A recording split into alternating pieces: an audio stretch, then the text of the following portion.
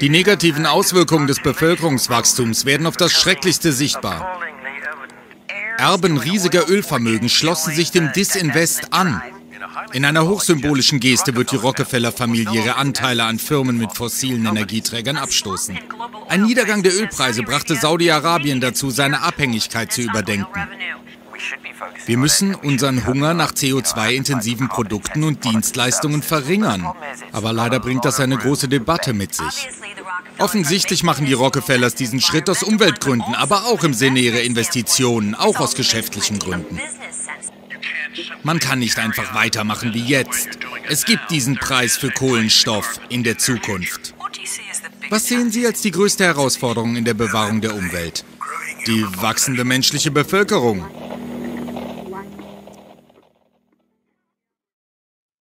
Zu Beginn des 20. Jahrhunderts entwickelte sich eine neue internationale Ordnung, die auf Öl basierte.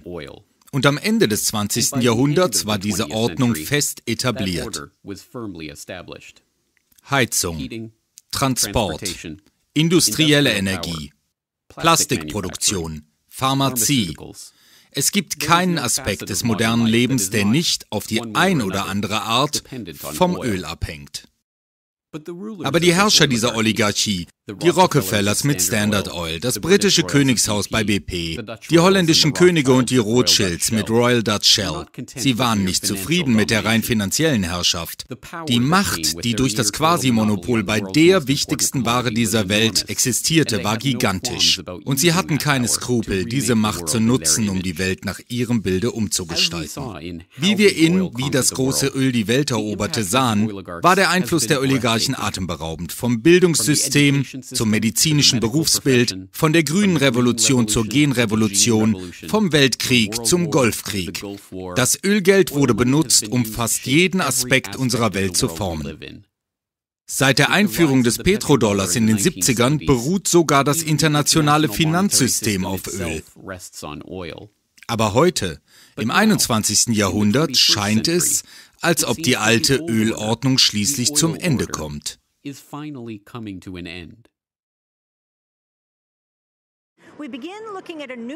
Wir sehen einen neuen Meilenstein in der wachsenden Kampagne für Disinvestment der Gas-, Öl- und Co-Konzerne, die den Klimawandel anheizen. May Büvi, Geschäftsführerin von 350 Org, machte diese Mitteilung direkt vor unserer Übertragung. Heute geben wir bekannt, dass seit dem heutigen Tage die gesamten Disinvestitionsversprechen die 3,4 Billionen Dollar Marke überschritten haben. Das ist ein Fondsvolumen von 3,4 Billionen, das dem Markt für fossile Brennstoffe entzogen wurde. Im Öl- und Gassektor erkennen wir, dass unsere Aktivitäten und Produkte zu einer Erhöhung der Treibhausgasemissionen beitragen. Deshalb wurde die OGCI gegründet. Was als Bewegung auf den Campussen der US-Colleges begonnen hatte, erreichte die Wolkenkratzer der Hochfinanz. Weltweit haben fast 200 Institutionen und Tausende von Individuen ein Kapital von zusammen 50 Milliarden Dollar aus fossilen Brennstoffen gezogen. Wenn wir unser Geld in erneuerbare Energiequellen wie Solarzellen stecken würden, könnte die Welt ein besserer Ort sein. Die Massen, die die Oligarchen und ihren zerstörerischen Einfluss auf den Planeten erkannt haben, sehen Big Oil schwinden und haben angefangen zu feiern. Für sie symbolisiert das Versprechen einer kohlefreien Zukunft das Ende der Oligarchie. Was vielen aber nicht klar ist, ist, dass es bei der Ölordnung nie um Öl ging. Die Oligarchen interessieren sich nicht für Öl. Sie interessieren sich für Kontrolle. Und sie sind es, die lange ihre finanzielle Abhängigkeit von dem Produkt, das ihnen Macht und Reichtum gebracht hat, hinter sich gelassen haben und an der Spitze der Anstrengungen für eine kohlefreie Ära stehen. Jetzt streben die Oligarchen an, eine neue internationale Ordnung voranzutreiben. Eine, in welcher ihre Herrschaft gefestigt, ihr Plan vollendet, ihre Macht unstrittig ist. Eine, in welcher jeder Aspekt menschlichen Lebens von Energie über Geld bis zum Genom selbst genau geordnet und technologisch kontrolliert ist. Dies ist die Geschichte der wahren Ziele der Oligarchen und wie sie planen, sie zu erreichen. Warum Big Oil die Welt erobert hat.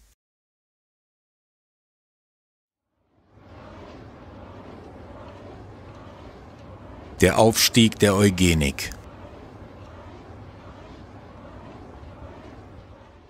Dakar 1963.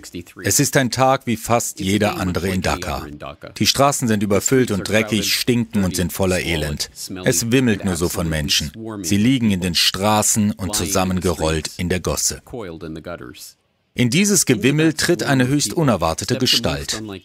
Der Mann in seinem bügelfreien Anzug, seinen Aktenkoffer an sich drückend, sticht aus der Menschenmenge hervor.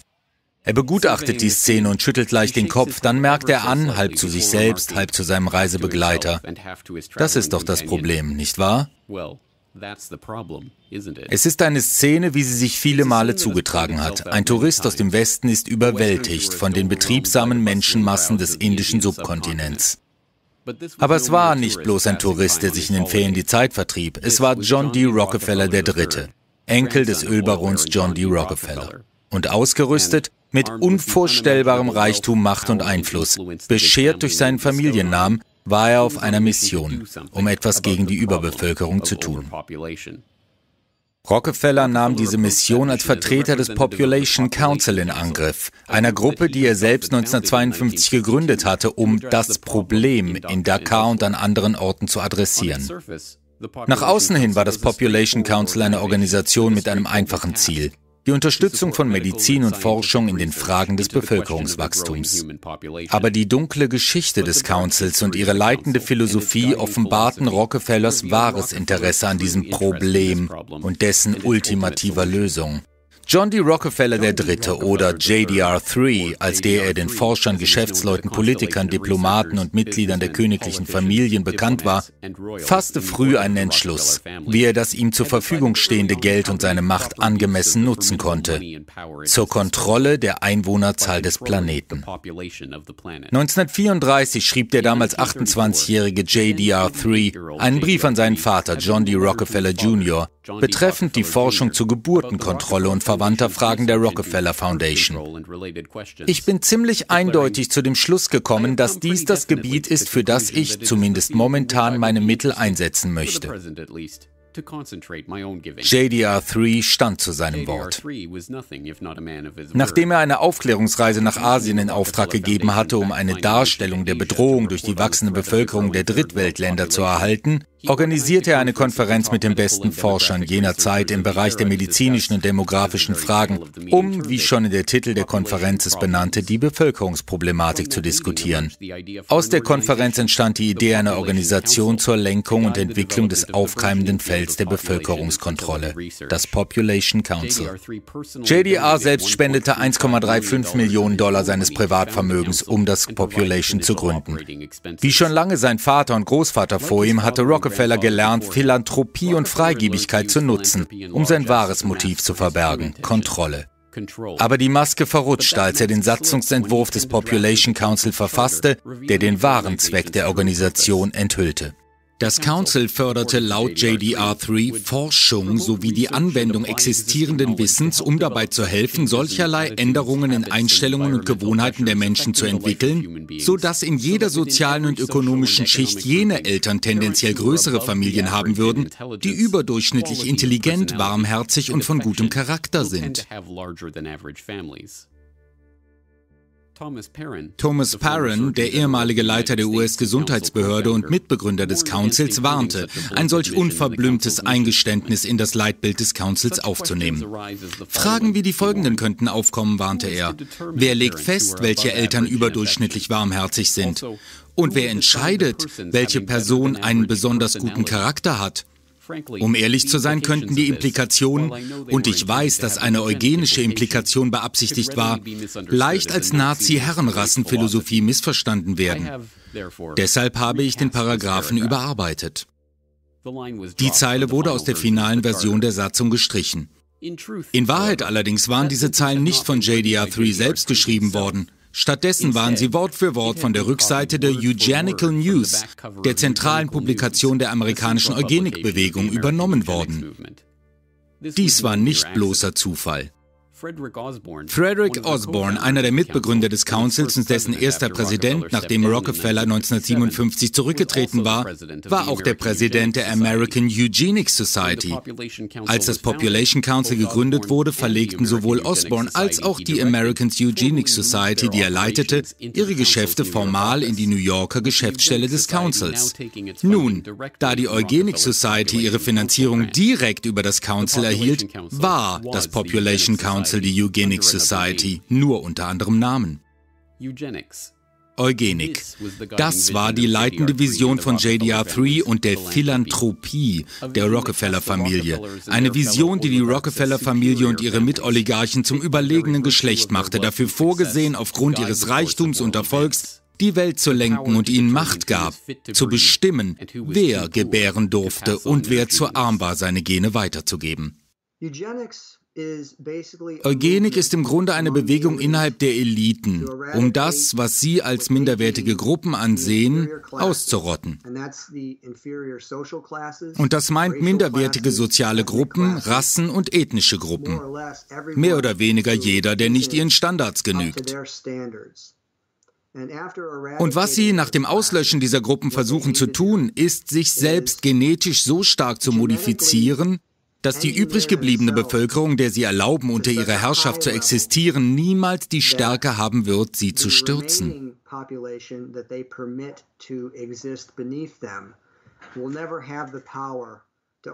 Im Grunde das Ende der menschlichen Geschichte.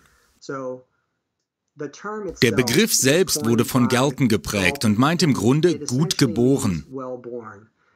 Die Idee ist eine Art Mischung aus einiger Ideen, die um die 1850er herum im Umlauf waren. Wenn man zum Beispiel zu Mendel zurückgeht. Mendel untersuchte vererbbare Eigenschaften in Erbsenpflanzen. Er konnte feststellen, dass bestimmte Eigenschaften weitergegeben wurden und dass diese Dinge ermittelt und sogar vorhergesagt werden konnten. Und etwa zur gleichen Zeit gab es Spencer, der über das Überleben des Stärkeren, Survival of the Fittest, sprach.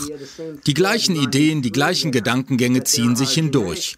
Dass genetische Eigenschaften existieren, die eine Spezies, eine Pflanze oder ein Tier stärker und überlebensfähiger machen würden als andere. Natürlich gab es auch Darwin, Darwins Arbeit zu dieser Zeit über die Entstehung der Arten entschlüsselt quasi den Prozess, durch den genetisches Material weitergegeben wird und durch den Evolution geschieht. Galton also nahm im Grunde alle diese Ideen. Er war dafür bekannt, zu beobachten und Muster zu identifizieren. Und was er quasi tat, war, dass er die Idee entwickelte, dass sie durch Studieren der menschlichen Charakteristiken, wenn sie das wollten, bessere Menschen züchten könnten. They could, if they chose to, uh, breed superior human beings. Besessen von Rasse, Zucht und Familienvererbung glaubten die Eugeniker, dass es nicht nur physische Merkmale wie Gewicht oder Größe waren, die durch die Familienlinie bestimmt waren, sondern auch soziale Charakteristiken wie Intelligenz oder Gewissenhaftigkeit oder sogar Kriminalität. Bist du arm, dann weil du aus armen Verhältnissen stammst. Bist du kriminell, dann weil deine Familienlinie kriminell ist. Und bist du ein Rockefeller, Rothschild oder königlicher Abstammung, dann bist du reich und erfolgreich, weil deine Familie für Reichtum und Erfolg bestimmt ist. Das pseudowissenschaftliche Gewand der Eugenikphilosophie des 19. Jahrhunderts mag neu gewesen sein, doch die Idee dahinter ist so alt wie die menschliche Zivilisation selbst.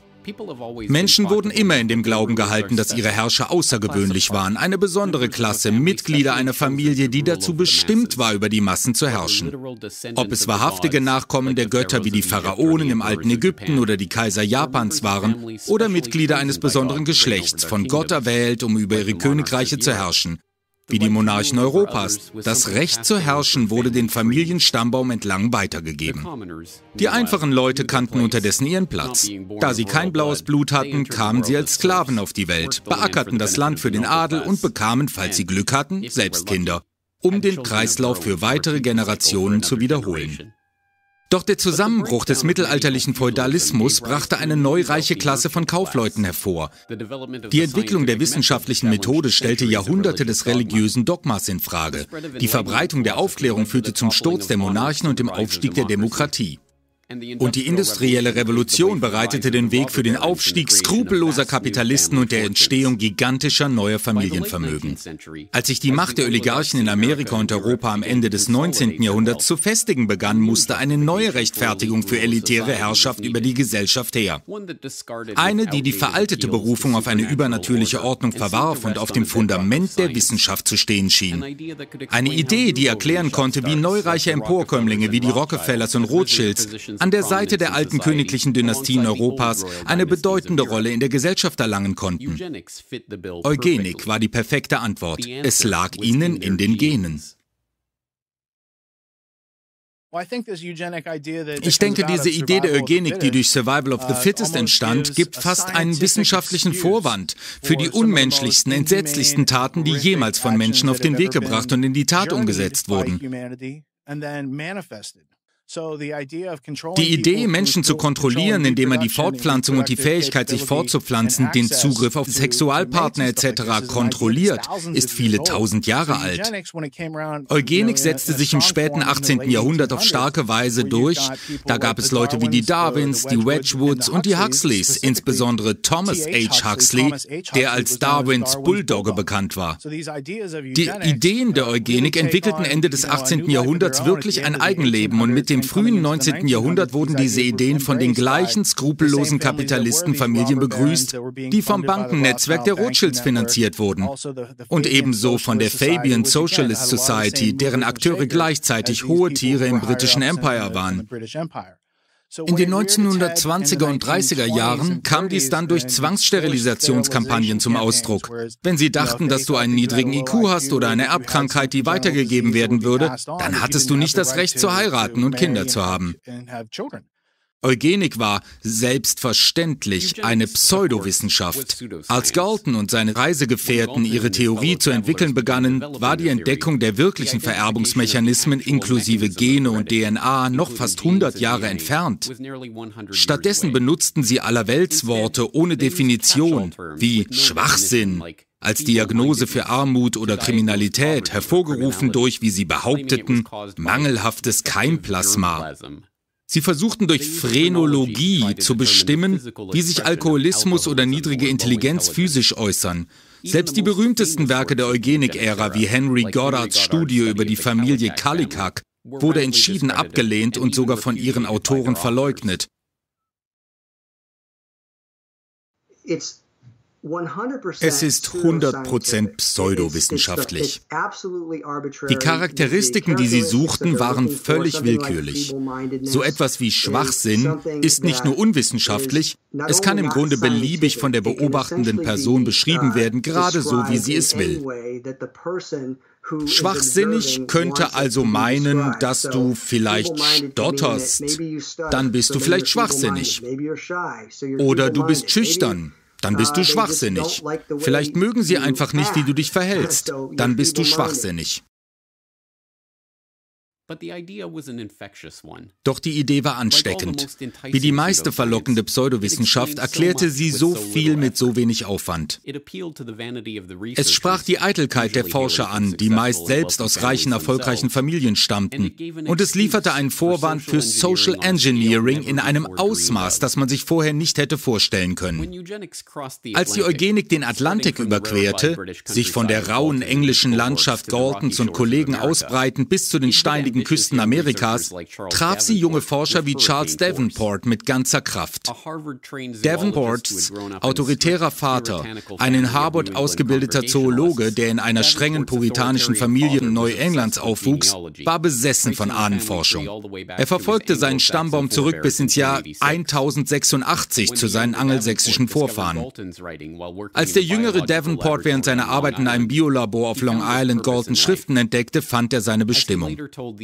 Später sagte er der American Breeders Association, die ein wichtiger Verbündeter in seiner Eugenik-Agenda wurde, die Gesellschaft muss sich schützen. So wie sie das Recht in Anspruch nimmt, einem Mörder das Leben zu nehmen, so darf sie auch die scheußliche Schlange aus hoffnungslos teuflischem Protoplasma vernichten. Mit dem bekehrenden Eifer eines religiösen Konvertiten heckte Davenport eine ehrgeizige Idee aus, um die eugenische Agenda voranzutreiben.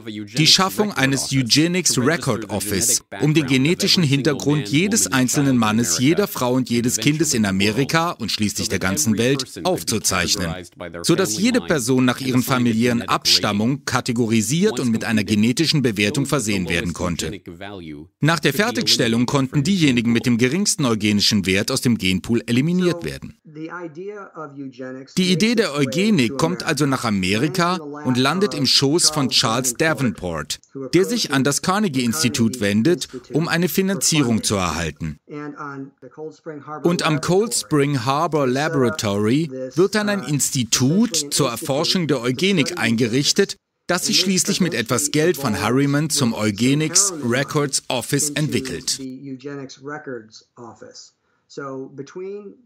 Zwischen diesem anfänglichen uh, Institut, das in Cold Spring uh, Harbor eingerichtet wurde, und dem Eugenics Record Office, das ebenfalls angegliedert wurde, geht es also um Millionen und Abermillionen von Dollars, die bereitgestellt wurden, um das minderwertige Keimplasma, so wird es oft beschrieben, zu erforschen und zu finden.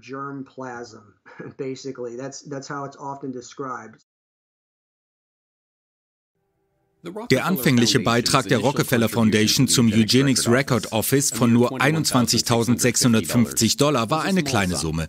Aber sie kam mit offensichtlichen Vorteilen. Nicht nur die institutionelle Infrastruktur und das Personal der Foundation sowie das Ansehen des Namens der Rockefellers, sondern auch das Versprechen auf weitere Unterstützung mit Voranschreiten der Arbeiten. Und wie üblich standen die Rockefellers zu ihrem Wort. Forscher der Rockefeller Foundation wie William Welch, der Gründungsdirektor des Institute for Medical Research, saßen im Vorstand der ERO und halfen bei der Lenkung ihrer Aktivitäten.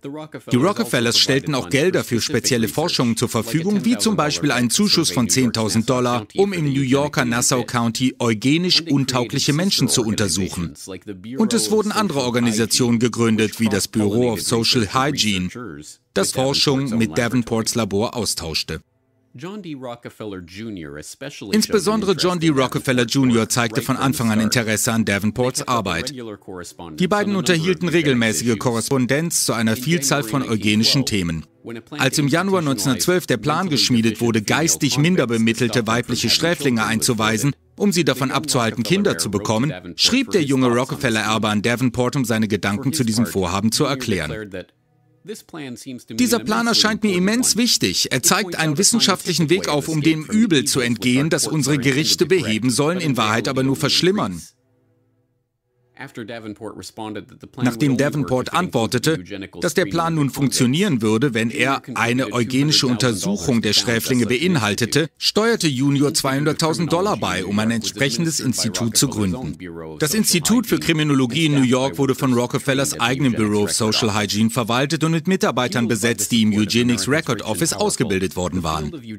Durch die Unterstützung Amerikas reicher und mächtiger befeuert, verwandelte sich das Feld der Eugenik vom bizarren Steckenpferd Steckenpferd einiger verrückter Wissenschaftler in das soziale Anliegen einer ganzen Generation. Ökonomen, Politiker, Autoren, Aktivisten. In den 1920er Jahren betonte jeder, der etwas auf sich hielt, die Notwendigkeit, das Keimplasma der minderwertigen Menschen auszurotten.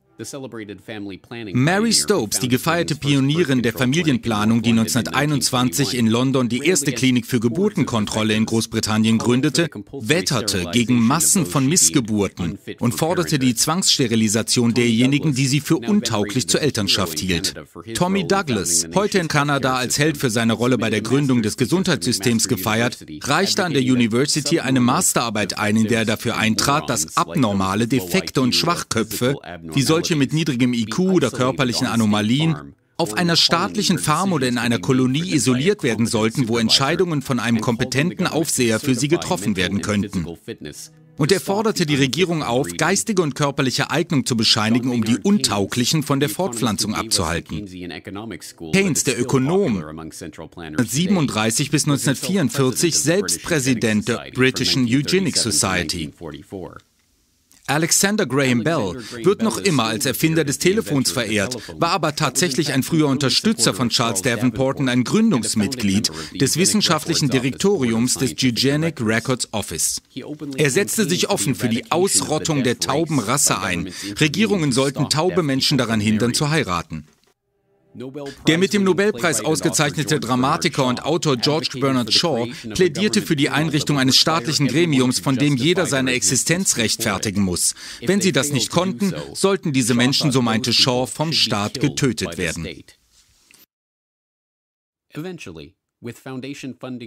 Mit der Finanzierung und Förderung durch Stiftungen sickerte diese eugenische Denkweise schließlich durch in die allgemeine Kultur.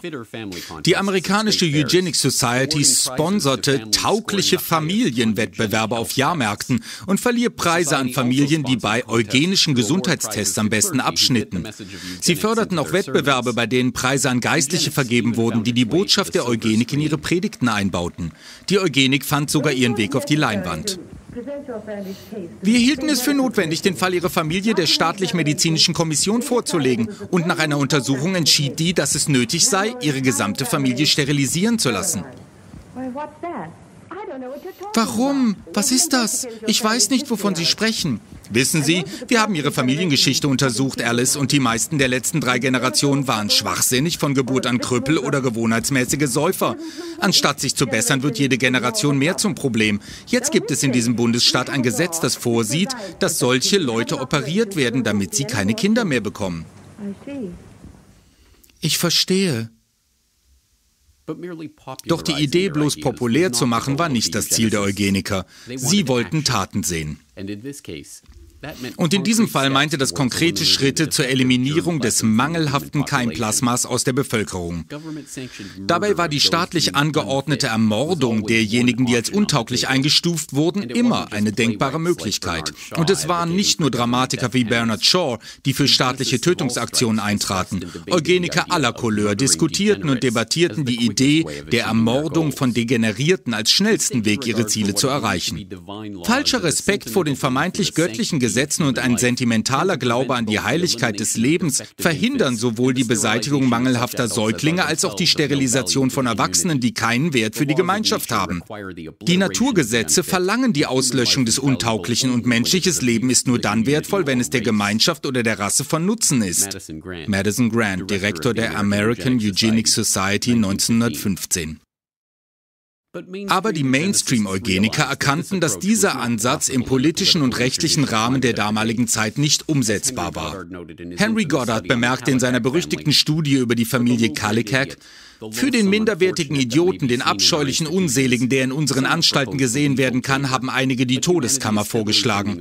Aber die Menschheit wendet sich immer mehr von dieser Möglichkeit ab und es ist wenig wahrscheinlich, dass sie jemals praktiziert werden wird. Stattdessen müssten sie sich anderen Optionen zuwenden, die politisch akzeptableren Lösungen, um die Unerwünschten von der Fortpflanzung abzuhalten. Zwangssterilisation. Indiana verabschiedete 1907 das erste eugenische Sterilisationsgesetz Amerikas und innerhalb weniger Jahre gab es ein Dutzend Staaten, in denen Menschen, die als untauglich galten, gegen ihren Willen legal sterilisiert wurden. Doch das war immer noch nicht genug für die Eugeniker. Der Ansatz war zu punktuell. Für ein paar tausend Sterilisationen hatten unter diesen Gesetzen stattgefunden und Indianas eigenes Zwangssterilisationsgesetz wurde 1921 vom obersten Gerichtshof gekippt. Wieder einmal schaltete sich Harry Laughlin, Davenports rechte Hand, im von Rockefeller finanzierten Office ein, um das Problem zu lösen. Er entwarf 1922 ein Modellgesetz zur eugenischen Sterilisation, das die Grundlage für das Sterilisationsgesetz von Virginia von 1924 wurde. Um die Probleme direkt anzugehen, beschlossen die Eugeniker, die Verfassungsmäßigkeit des Gesetzes selbst anzufechten und den Prozess bis zum obersten Gerichtshof zu führen. Alles, was sie brauchten, war der richtige Präzedenzfall, um ihn vor Gericht zu bringen. Und sie fanden diesen Fall in Carrie Buck, einer 18-jährigen Schutzbefohlen der Virginia State Colony für Epileptiker und Schwachsinnige, die weder Epileptikerin noch schwachsinnig war. Aber fangen Sie in den 1920ern mit Carrie Buck an.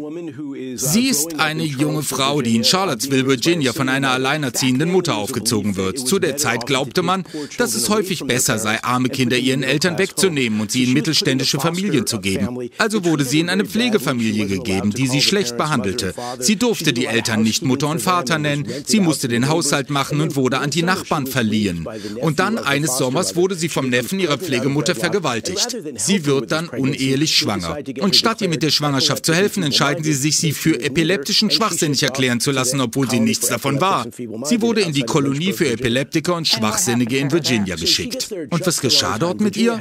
Sie kommt dort genau zur falschen Zeit an. Virginia hat gerade ein eugenisches Sterilisationsgesetz verabschiedet und sie wollen es vor Gericht überprüfen.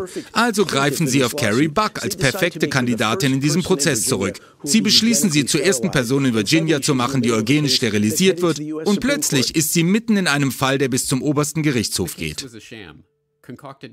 Der Fall war ein Schwindel, der nur ausgeheckt wurde, um den obersten Gerichtshof dazu bringen, das Thema abzusegnen. Bucks unabhängiger Anwalt war in Wirklichkeit Irving Whitehead, einer der Gründungsdirektoren der Kolonie, der sich für ihre Sterilisation einsetzte und der Mann, der den Direktor ernannte, der sich ebenfalls für ihre Sterilisation aussprach. Bucks selbst war nicht schwachsinnig, auch nicht ihre Mutter und auch nicht ihre Tochter Vivian Buck, die Carrie als Folge der Vergewaltigung zur Welt brachte und die als Baby für schwachsinnig erklärt wurde weil, wie eine Sozialarbeiterin während des Prozesses aussagte, einen Blick habe, der nicht ganz normal sei. Sie könnte nicht genau sagen, was. Keiner dieser Umstände spielte für den obersten Gerichtshof eine Rolle. Unter dem Vorsitz des ehemaligen Präsidenten und obersten Richters stimmte das Gericht mit 8 zu 1 Stimmen für die Aufrechterhaltung der Zwangssterilisation von Buck und die Verfassungsmäßigkeit des Sterilisationsgesetzes. Verfasst wurde die Entscheidung von einem der berühmtesten Richter in der Geschichte des Gerichts, Oliver Wendell Holmes Jr., selbst ein Eugeniker aus der traditionsreichen Ostküstenniederlassung der sogenannten Boston Brahmin-Sekte. In seiner Entscheidung rechtfertigte Holmes die Zwangssterilisation von Menschen wie Buck indem er sich auf das Recht der Regierung berief, ihre Bürger gegen deren Willen zu impfen. Es ist besser für die ganze Welt, wenn die Gesellschaft, anstatt darauf zu warten, degenerierte Nachkommen wegen ihrer Verbrechen hinzurichten oder sie wegen ihrer Schwachsinnigkeit verhungern zu lassen, diejenigen, die offensichtlich untauglich sind, an der Weiterführung ihrer Gattung hindern kann. Der Grundsatz, der die Impfpflicht stützt, ist breit genug, um das Durchtrennen der Eileiter abzudecken, erklärte er, bevor er niederträchtig schloss, drei Generationen von Schwachköpfen sind genug. Und damit war der Damm gebrochen. Neue Gesetze wurden erlassen und alte überarbeitet, um der Entscheidung des obersten Gerichtshofs gerecht zu werden. Zwangssterilisationen, die vorher still und heimlich stattfanden, wurden nun mit Stolz vermeldet. Aus ein paar tausend gegen ihren Willen sterilisierten Menschen wurden Zehntausende. Die Ära der Eugenik, die durch das immense Vermögen der Rockefellers und ihresgleichen ins Rollen gebracht wurde, war gekommen. Und mit Hilfe eines sehr bedeutsamen Vorstoßes der Rockefellers war sie im Begriff, sich auf der gesamten Welt zu verbreiten. 1970s Beginnend im November 1922 und immer mehr während der 1920er Jahre starteten die Rockefeller Foundation eine Reihe von Stipendien für deutsche Wissenschaftler. Diese Stipendien, die in heutigem Geld Millionen von Dollars entsprechen, transformierten das deutsche Forschungswesen, das im Zuge des Ersten Weltkriegs zugrunde gerichtet worden war.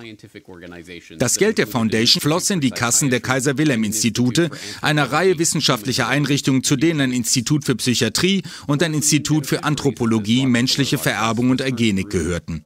Einer der Hauptnutznießer dieser Gunst der Rockefellers war Ernst Rüdin, ein leitender Forscher am Kaiser Wilhelm Institut für Psychiatrie und ein wichtiger Mitgestalter des deutschen Eugenikprogramms im Dritten Reich.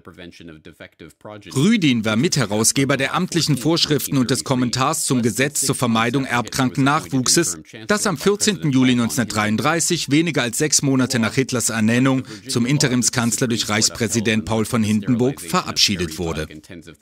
Dieses Gesetz, wie auch das Gesetz aus Virginia, das zur Sterilisation von Carrie Buck und Zehntausenden anderen Amerikanern führte, wurde nach dem Vorbild von Harry Loughlins Gesetz zur eugenischen Sterilisation entworfen. Es wurden genetische Gesundheitsgerichte gebildet, die die Sterilisation von Mangelhaften in acht verschiedenen Kategorien anordnen konnten. Schwachsinnige, Schizophrene, manisch-depressive, Chorea-Huntington-Kranke, Epileptiker, Menschen mit erblichen Missbildungen, Blinde und Taube. Alkoholiker, eine neunte Kategorie, sollte optional in die Liste aufgenommen werden mit Vorsicht vor der Aufnahme von gewöhnlichen Trunkenbolden. Am Ende des Jahres waren 62.400 Deutsche als vermehrungsuntauglich befunden worden und gegen ihren Willen sterilisiert. 1945 hatte diese Zahl 400.000 erreicht. In den 1940er Jahren sollte sich dieses Eugenikprogramm im Rahmen der Aktion T4 zur Euthanasie ausweiten, was dazu führte, dass über 70.000 Kinder, Senioren und Psychiatriepatienten vom NS-Regime ermordet wurden. Als sich der Staub des Zweiten Weltkriegs legte, wurde der Begriff Eugenik in den Köpfen der Öffentlichkeit zum Synonym für die Nazis. Die Eugeniker waren außer sich und wussten, dass sie ihre Arbeit nicht länger unter dem Namen Eugenik fortsetzen konnten. Aber das hieß nicht, dass es nicht weitergehen konnte. Nach dem Zweiten Weltkrieg hörte man also nichts mehr von Eugenik. Wovon man hört, ist Molekularbiologie und andere umgangssprachliche Ausdrücke, die von der Rockefeller Foundation entwickelt wurden. Die Rockefellers waren eine der Familien, die dabei halfen, Eugenik in Amerika, Großbritannien und Deutschland zu finanzieren und die auch Hitler während dieser Zeit finanziell unterstützten. Es gibt also eine Schnittmenge zwischen den Leuten, die den Völkermord tatsächlich finanzierten und denen, die Ideen zur Auslese der Bevölkerung, zur Bevölkerungskontrolle und zur Sterilisation von Menschen hatten. Und diese Ideen sind bis heute in der Gesellschaft präsent und durchdringen sie. Wie der Mitbegründer der American Eugenics Society, Frederick Bosborn, schrieb, Eugenische Ziele lassen sich am ehesten unter einem anderen Namen als Eugenik erreichen. So zog er mit der American Eugenics Society in die Büroräume des Population Council von John D. Rockefeller III. und wurde 1957 Präsident. Die Rockefellers und ihre Mitoligarchen hatten sich seit Generationen als Hüter des Planeten gesehen, die ihn vor der Flut der genetisch Minderwertigen schützten. Sie waren nicht im Begriff, diese Mission aufzugeben. Sie würden sie einfach unter einem anderen Namen verpacken. Teil 2. Die Öloligarchen als die Klimaretter. Mit all den Erkenntnissen, die wir bei unseren Vorbereitungen für die Stockholmer Konferenz gesammelt haben, einschließlich der Ansichten vieler weltweit führender Wissenschaftler, bin ich davon überzeugt, dass die Schwarzseher ernst genommen werden müssen.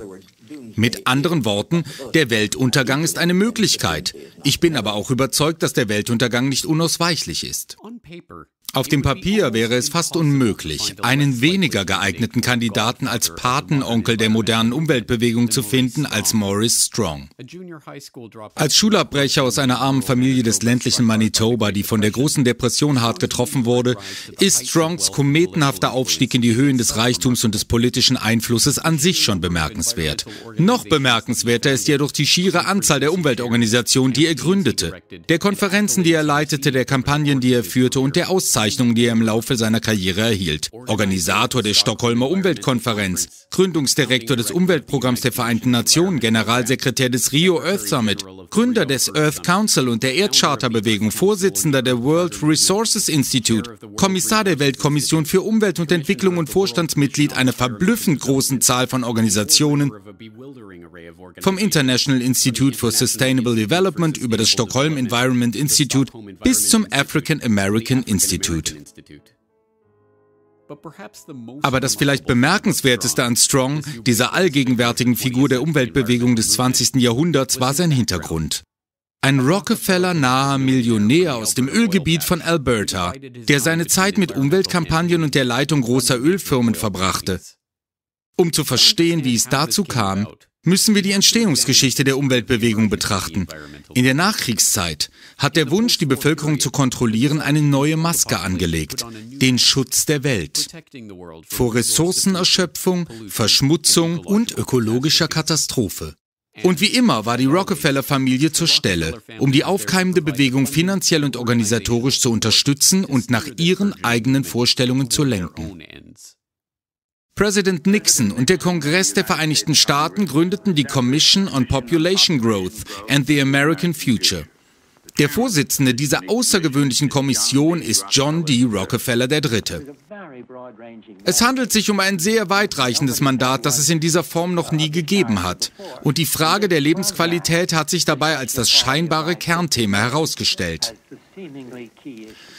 Die wichtigste Erkenntnis war jedoch, dass eine Art von Stabilisierung für das Land eindeutig wünschenswert ist. Ja, wir haben gesagt, dass bekannt ist, dass die Bevölkerung nicht unbegrenzt weiter wachsen kann. Niemand bezweifelt das. Und wir haben auf der Grundlage unserer Erkenntnisse gesagt, dass die Nation jetzt eine stabile Bevölkerungszahl begrüßen und einplanen sollte. Die gesamte Frage der Umweltverschmutzung, der Umwelt und der Bevölkerungsentwicklung rückte in erstaunlich kurzer Zeit in den Vordergrund. Und Präsident Nixon gab im Juli 1969 vor dem Kongress eine Erklärung ab, die sich ausschließlich mit dieser Frage befasste. Und ich möchte nur zwei Sätze aus dieser Erklärung vorlesen, da ich denke, dass sie seine Besorgnis über dieses Thema und seine Anerkennung dessen Bedeutung hier und in der ganzen Welt verdeutlichen. Er sagte, eine der größten Herausforderungen für das Schicksal der Menschheit im letzten Drittel dieses Jahrhunderts wird das Bevölkerungswachstum sein. Ob die Reaktionen der Menschen auf diese Herausforderung im Jahr 2000 ein Grund zum Stolz oder zur Verzweiflung sein werden, wird sehr stark davon abhängen, was wir heute tun. Neben den Rockefellers prägten auch ihre Mitoligarchen jenseits des Atlantiks die internationale Umweltbewegung, darunter die britischen Royals hinter BP und die niederländischen Royals hinter Royal Dutch Shell. Und Julian Huxley, der Bruder des Autors von Schöne neue Welt Aldous Huxley und Enkel von Darwins Bulldogge T.H. Huxley, ebnete den Übergang von der Eugenik zur Bevölkerungskontrolle und Umweltschutz. Julian Huxley war ein überzeugter Eugeniker, der von 1959 bis 1962 den Vorsitz der British Eugenics Society innehatte. Aber wie die anderen Eugeniker der Nachkriegszeit verstand er die Notwendigkeit, die inzwischen diskreditierte Arbeit der Eugenik unter einem Deckmantel fortzusetzen. Als Gründungsdirektor der Organisation der Vereinten Nationen für Erziehung, Wissenschaften, Kultur, UNESCO, schrieb Huxley im Gründungsdokument der Organisation über die Notwendigkeit, Wege zu finden, um die Ziele der Eugenik wieder politisch durchsetzbar zu machen. Gegenwärtig ist es wahrscheinlich, dass die indirekte Wahrnehmung der Zivilisation eher dysgenisch als eugenisch ist. Und in jedem Fall scheint es wahrscheinlich, dass der Ballast genetischer Dummheit, körperlicher Schwäche, geistiger Instabilität und Krankheitsanfälligkeit, der bereits in der menschlichen Spezies vorhanden ist, sich als zu große Last erweisen wird, um einen wirklichen Fortschritt zu erzielen. Aber wenn es stimmt, dass eine radikale eugenische Politik für viele Jahre politisch und psychologisch unmöglich sein wird, wird es für die UNESCO wichtig sein, dafür zu sorgen, dass das eugenische Problem mit größter Sorgfalt untersucht wird und dass die Öffentlichkeit über die auf dem Spiel stehenden Fragen informiert wird, damit vieles, was heute undenkbar ist, zumindest denkbar wird. Huxley fand 1948 die perfekte Bühne für die Wiedereinführung dieser undenkbaren eugenischen Ideen, als er die UNESCO als Sprungbrett für die Gründung der International Union for the Conservation of Nature nutzte und dann noch einmal 1961, als er wiederum diese Organisation als Sprungbrett für den World Wildlife Fund nutzte. Zu den Mitbegründern des Fonds gehören neben Huxley auch Prince Bernard der Niederlande, Gründer der Bilderberg-Gruppe und ehemaliger Mitarbeiter des IG Farbenkonglomerats und Prinz Philip von England, sowie Godfrey A. Rockefeller aus der Rockefeller-Dynastie. Gemeinsam versprachen sie, die öffentliche Meinung zu mobilisieren und die Welt über die Notwendigkeit des Naturschutzes aufzuklären. Jahrelange Aufklärungsarbeit über die Belastung der Ressourcen der Erde durch die wachsende menschliche Bevölkerung, bezahlt von eben jenen Oligarchen, die gerade das letzte Jahrhundert damit verbracht hatten, eine der wichtigsten Ressourcen der Welt zu monopolisieren, führte unweigerlich zu einer absehbaren Konsequenz. Zum ersten Mal in der Geschichte der Menschheit ist nun eine internationale Bewegung im Entstehen.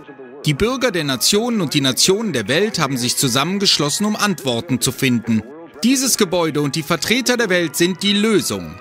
Wir wissen, was wir getan haben, um die Zerstörung unserer Erde herbeizuführen. Ist es nicht jetzt an der Zeit, die Krankheit zu heilen, die wir selbst verursacht haben?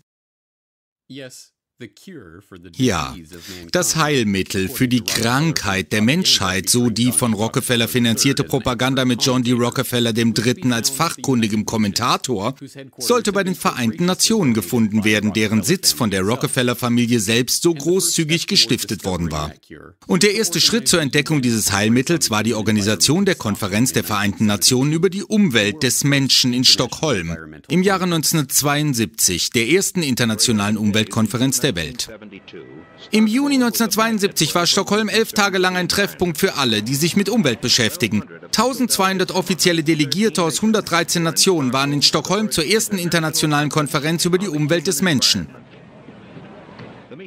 Das Treffen, das den Vereinten Nationen erstmals von Schweden vorgeschlagen und 1968 von der Generalversammlung genehmigt wurde, erregte weltweites Aufsehen. In nur vier Jahren war das Thema Umwelt von den hinteren Seiten der Zeitungen auf die Titelseite gerückt. Und wer wäre besser geeignet, die Konferenz zu leiten und die institutionellen Grundlagen für diese aufkeimende, von den Oligarchen unterstützte Bewegung zu schaffen als ein erfahrener Ölunternehmer? Allein die Tatsache, dass die Konferenz mit 113 teilnehmenden Ländern und hochrangigen Delegationen aus diesen Ländern begann, war schon ein großer Schritt nach vorn. Denn dies zeigt mehr als alles andere die echte Sorge der Mehrheit der Länder der Welt.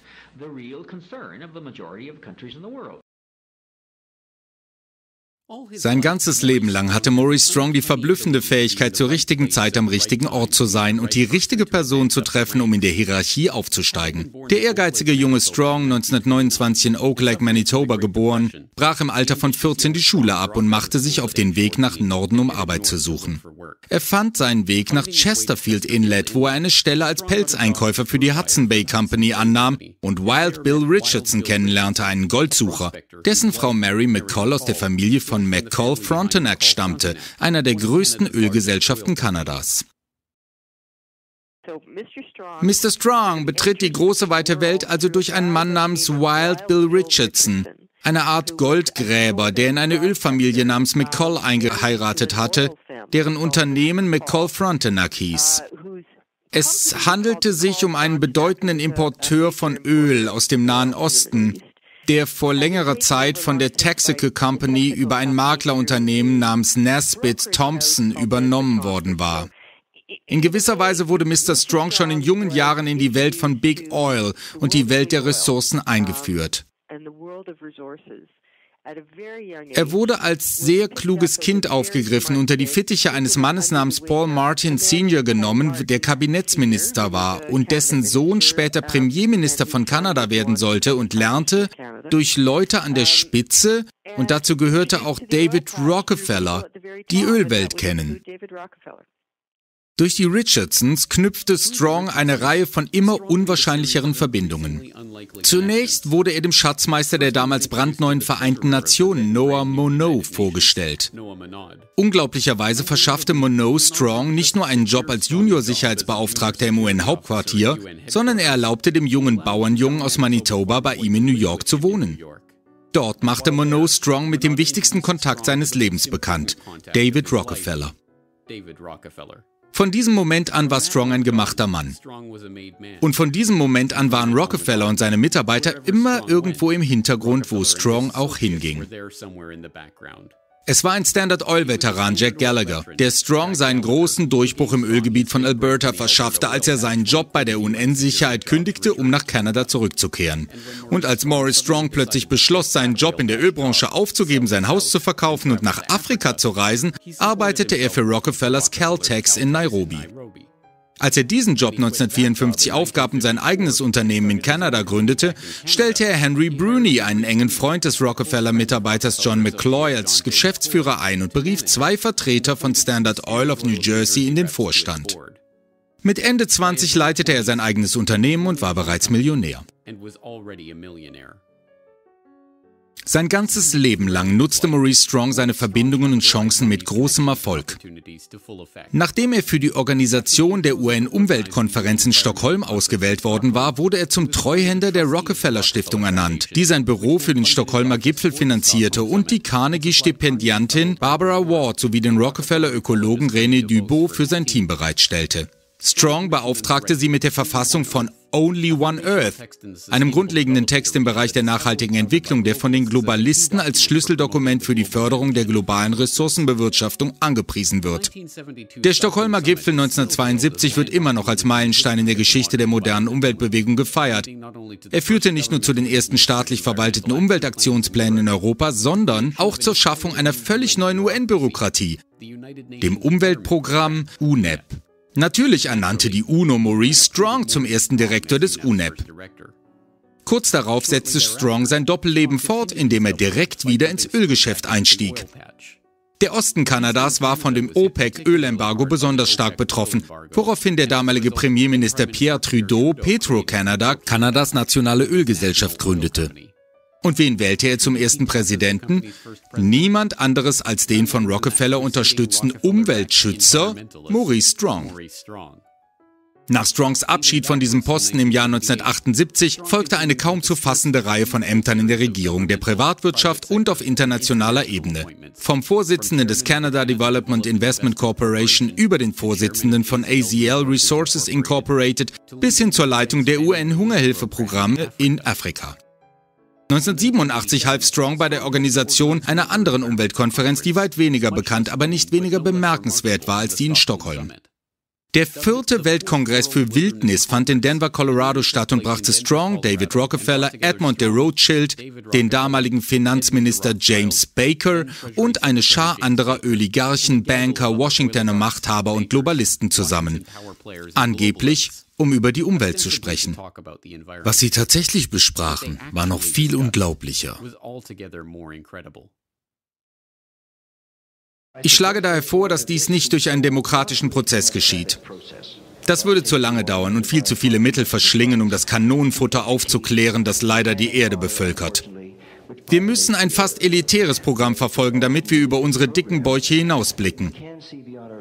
Wir müssen die Zukunft in Zeiträumen und mit Ergebnissen betrachten, die nicht leicht zu verstehen sind oder sich mit intellektueller Ehrlichkeit auf eine Art vereinfachende Definition reduzieren lassen. Dies waren die Worte von David Lang, einem Banker aus Montreal, der auf der Konferenz sprach. Für Lang, die Rockefellers, die Rothschilds und die anderen bei dem Treffen versammelten Banker und Oligarchen ist die Bevölkerung Kanonenfutter, das leider die Erde bevölkert. Dieses freimütige Eingeständnis, eine perfekte Zusammenfassung der eugenischen Ideen, die der von den Oligarchen selbst finanzierten globalen Naturschutzbewegung zugrunde liegen, wurde von George Hunt, einem Geschäftsmann aus Boulder, Colorado, auf Band aufgenommen, der als besorgter Bürger freiwillig an der Konferenz teilgenommen hatte und entsetzt von dem war, was er dort erlebte. Anfang der 90er Jahre veröffentlichte er seine eigenen Aufzeichnungen der Vorgänge, um die Öffentlichkeit von dieser Gruppe und ihren eigentlichen Zielen zu warnen. Hans Aufnahme hielt den Moment fest, als Maurice Strong Baron Edmund de Rothschild, dessen Cousin väterlicherseits die aserbaidschanischen Ölfelder der Rothschilds an Royal Dutch Shell verkauft hatte, als Pionier der Umweltbewegung und Begründer des Konzepts des Conservation Banking vorstellte.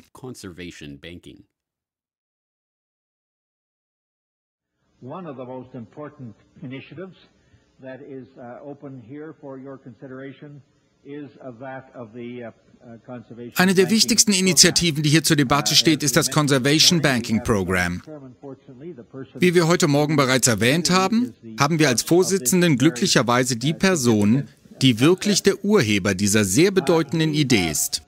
Er war und ist einer der Treuhänder der International Wilderness Foundation, die dieses Treffen gesponsert haben. Er nahm an der ersten dieser Konferenzen teil. Seine Hinwendung zu der Beziehung zwischen Naturschutz und wirtschaftlicher Entwicklung war also wegweisend.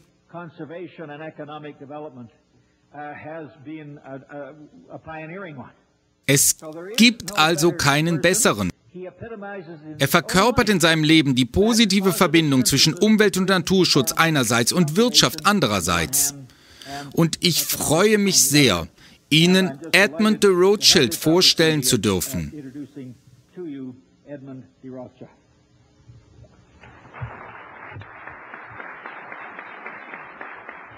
Maurice, vielen Dank für alles, was Sie gesagt haben. Und ich möchte die Zuhörer bitten, alles, was er über mich gesagt hat, mit Vorsicht zu genießen.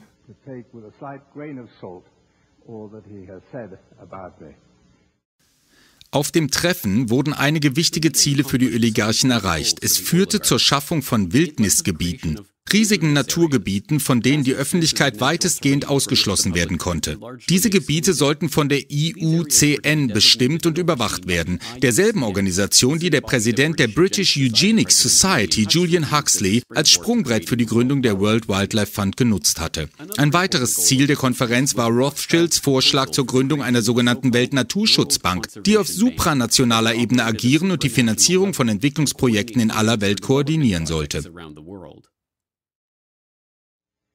The meetings now of the new concept of an international conservation banking program An den Gesprächen über das Konzept eines internationalen Conservation Banking Programs sind alle Bereiche der Weltgemeinschaft beteiligt. Staatliche und zwischenstaatliche Stellen, öffentliche und private Einrichtungen, große Wohltätigkeitsstiftungen sowie Privatpersonen weltweit. Indem wir darüber nachdenken, wie wir die breite Öffentlichkeit und alle Unternehmen auf der ganzen Welt erreichen können, damit sie einen Teil ihrer Gewinne, hoffentlich steuerfrei, zur Finanzierung unseres Umwelt- und Naturschutzes zur Seite legen.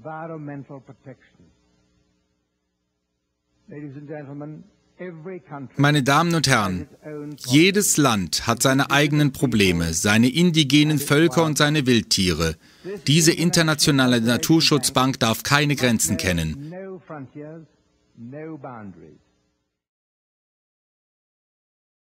Diese Weltnaturschutzbank wurde auf Morris Strongs nächster großer Konferenz, die als Krönung seiner ungewöhnlichen Karriere als Umweltschützer dienen sollte und die immer noch einer der Meilensteine der Umweltbewegung ist, vorgestellt und schließlich verwirklicht.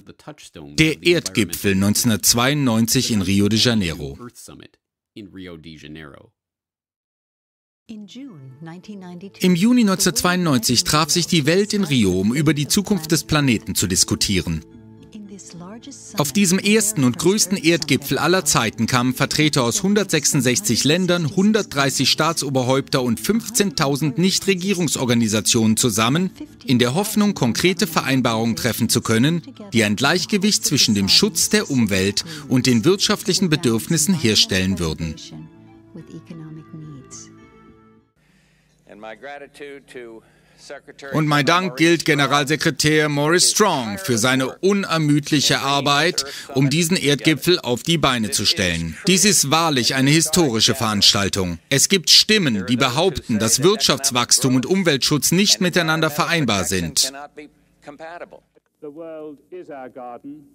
Die Welt ist unser Garten und wir müssen ihn gemeinsam bebauen. Diese Woche in Rio haben wir einen Anfang gemacht. Nach Rio müssen wir es weiterführen.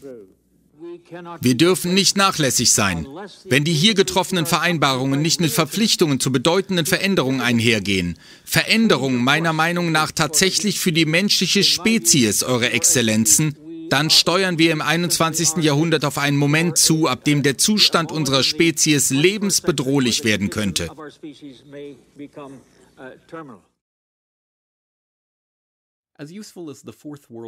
So nützlich der vierte Weltkongress für Wildnis auch war, um die Agenda von Maurice Strong und den Oligarchen voranzubringen, so war er doch nur die Vorbereitung für den Erdgipfel in Rio. Auf dem Erdgipfel bekam Edmund de Rothschild seine World Conservation Bank. Die Global Environment Facility, die auf dem Gipfeltreffen ins Leben gerufen wurde, dient als Finanzierungsmechanismus für fünf verschiedene UN-Konventionen und stellt Milliarden von Dollar für Umwelt- und Entwicklungsprojekte auf der ganzen Welt zur Verfügung. Zu den 18 Durchführungspartnern gehören die von Rockefeller finanzierte Food and Agricultural Organization, die von Huxley gegründete International Union for the Conservation of the Nature, das von Maurice Strong gegründete Umweltprogramm der Vereinten Nationen und der von Prince Bernard, Prince Philip, Godfrey Rockefeller gegründete World Wildlife Fund.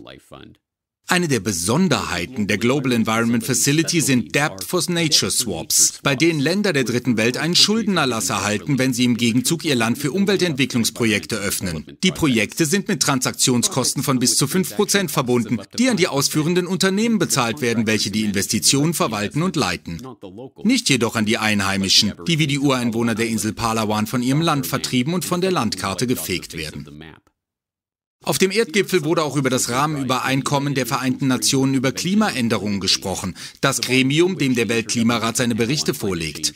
Das UNFCCC und der IPCC, die im Allgemeinen als neutrale, nichtstaatliche Gremien gelten, die sich nur auf Wissenschaft und Evidenz stützen, sind durch die Bedingungen, die Strong ihnen auferlegt hat, gezwungen, nur einen Schluss zu ziehen, dass die Menschheit für den Klimawandel verantwortlich ist. When they set up the Intergovernmental Panel on Climate Change, Maurice Strong, who we, we should talk a lot about, um, he wrote the terms of reference. And uh, Als der Klimarat gegründet wurde, schrieb Maurice Strong, über den wir wirklich reden sollten, die Richtlinien. Und die erste Richtlinie war die Definition des Klimawandels, die er absichtlich auf die menschlichen Ursachen des Klimawandels beschränkte. Dadurch wurden offensichtlich alle natürlichen Ursachen und die natürlichen Fluktuationen eliminiert, weshalb man sich nicht mit Dingen wie der Sonne und einer ganzen Reihe anderer Themen befasst. In einem weiteren Mandat schränkte er sie dann noch weiter ein, indem er sie in drei Arbeitsgruppen aufteilte. Es gab eine technische Gruppe, die Arbeitsgruppe 1, die den wissenschaftlichen Bericht verfasste. Das waren 600 der 2500 Personen. Die anderen 1900 Personen waren in den Arbeitsgruppen 2 und 3. Aber sie waren unbedeutend, weil sie die Ergebnisse der Arbeitsgruppe 1, die bereits durch ihre Aufgabenstellung eingeschränkt war, akzeptieren mussten. Was auch immer ihr Ergebnis war, die Arbeitsgruppen 2 und 3 sagten dann, okay, ihr sagt uns, dass es wärmer werden wird, wir akzeptieren das als Tatsache. Jetzt schauen wir uns an, welche Auswirkungen das hat. Und da hört man dann all diese Geschichten über das Schmelzen des Polareises, den Anstieg des Meeresspiegels und so weiter. Der größte Teil des Berichts von 1900 Wissenschaftlern akzeptiert also ohne Zweifel die Ergebnisse der ersten Gruppe. Jetzt strengte Strong das Ganze noch mehr ein, weil sie dann sagten, dieser Bericht darf nicht für politische Zwecke verwendet werden. Aber dann stellten sie die Zusammenfassung für politische Entscheidungsträger auf, was das absolute Gegenteil davon ist. Die Zusammenfassung für politische Entscheidungsträger ist von einer völlig anderen Gruppe verfasst worden, unabhängig von dem wissenschaftlichen Bericht. Der wissenschaftliche Bericht ist fertig und wird zur Seite gelegt. Die Zusammenfassung für die politischen Entscheidungsträger wird verfasst und an die Medien weitergegeben. Aber die Regeln, die Aufgabenstellung, die Strong festgelegt hat, besagen, dass die Zusammenfassung für die politischen Entscheidungsträger an die Verfasser der wissenschaftlichen Berichte zurückgeht und dass sie sicherstellen sollen, dass ihr wissenschaftlicher Bericht mit dem übereinstimmt, was in der Zusammenfassung steht. Summary for policymakers goes back to the science report people and says make sure your science report agrees with what we've put in the summary. Ein weiteres Ergebnis des Gipfels in Rio war die Erdcharta. Ein quasi religiöses Dokument, das Michael Gorbatschow, der zusammen mit Maurice Strong an der Ausarbeitung des Textes beteiligt war, als Nachfolger der Zehn Gebote bezeichnete und mit dem eine Ära der Gaia-Verehrung und der globalen Verantwortung eingeleitet werden sollte. Das Dokument erklärt, dass fundamentale Veränderungen in unseren Werten, Institutionen und Lebensweisen erforderlich sind und rät dann, dass wir eine Welt der gemeinsamen Verantwortung für die Erdgemeinschaft schaffen müssen, bevor es schließt. Um eine nachhaltige globale Gemeinschaft aufzubauen, müssen die Nationen der Welt ihr Bekenntnis zu den Vereinten Nationen erneuern, ihre Verpflichtungen aus bestehenden internationalen Abkommen erfüllen und die Umsetzung der Prinzipien der Erdcharta durch ein internationales rechtsverbindliches Instrument für Umwelt und Entwicklung unterstützen. Well, the Earth Charter was one of the byproducts ultimately of the first Earth Summit. I published the Earth Charter in my nun, die Erdcharta war letztlich eines der Nebenprodukte des ersten Erdgipfels. Ich habe die Erdcharta im Anhang meines Buches Der Aufstieg der Technokratie, das trojanische Pferd der globalen Transformation veröffentlicht,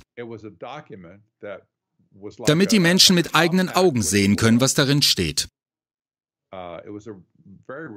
Es war ein Dokument, das wie ein Abkommen mit der Welt war. Es war ein sehr religiöses, humanistisches Dokument, das versuchte, die Welt in einem einzigen Konzept der Globalisierung zu vereinen.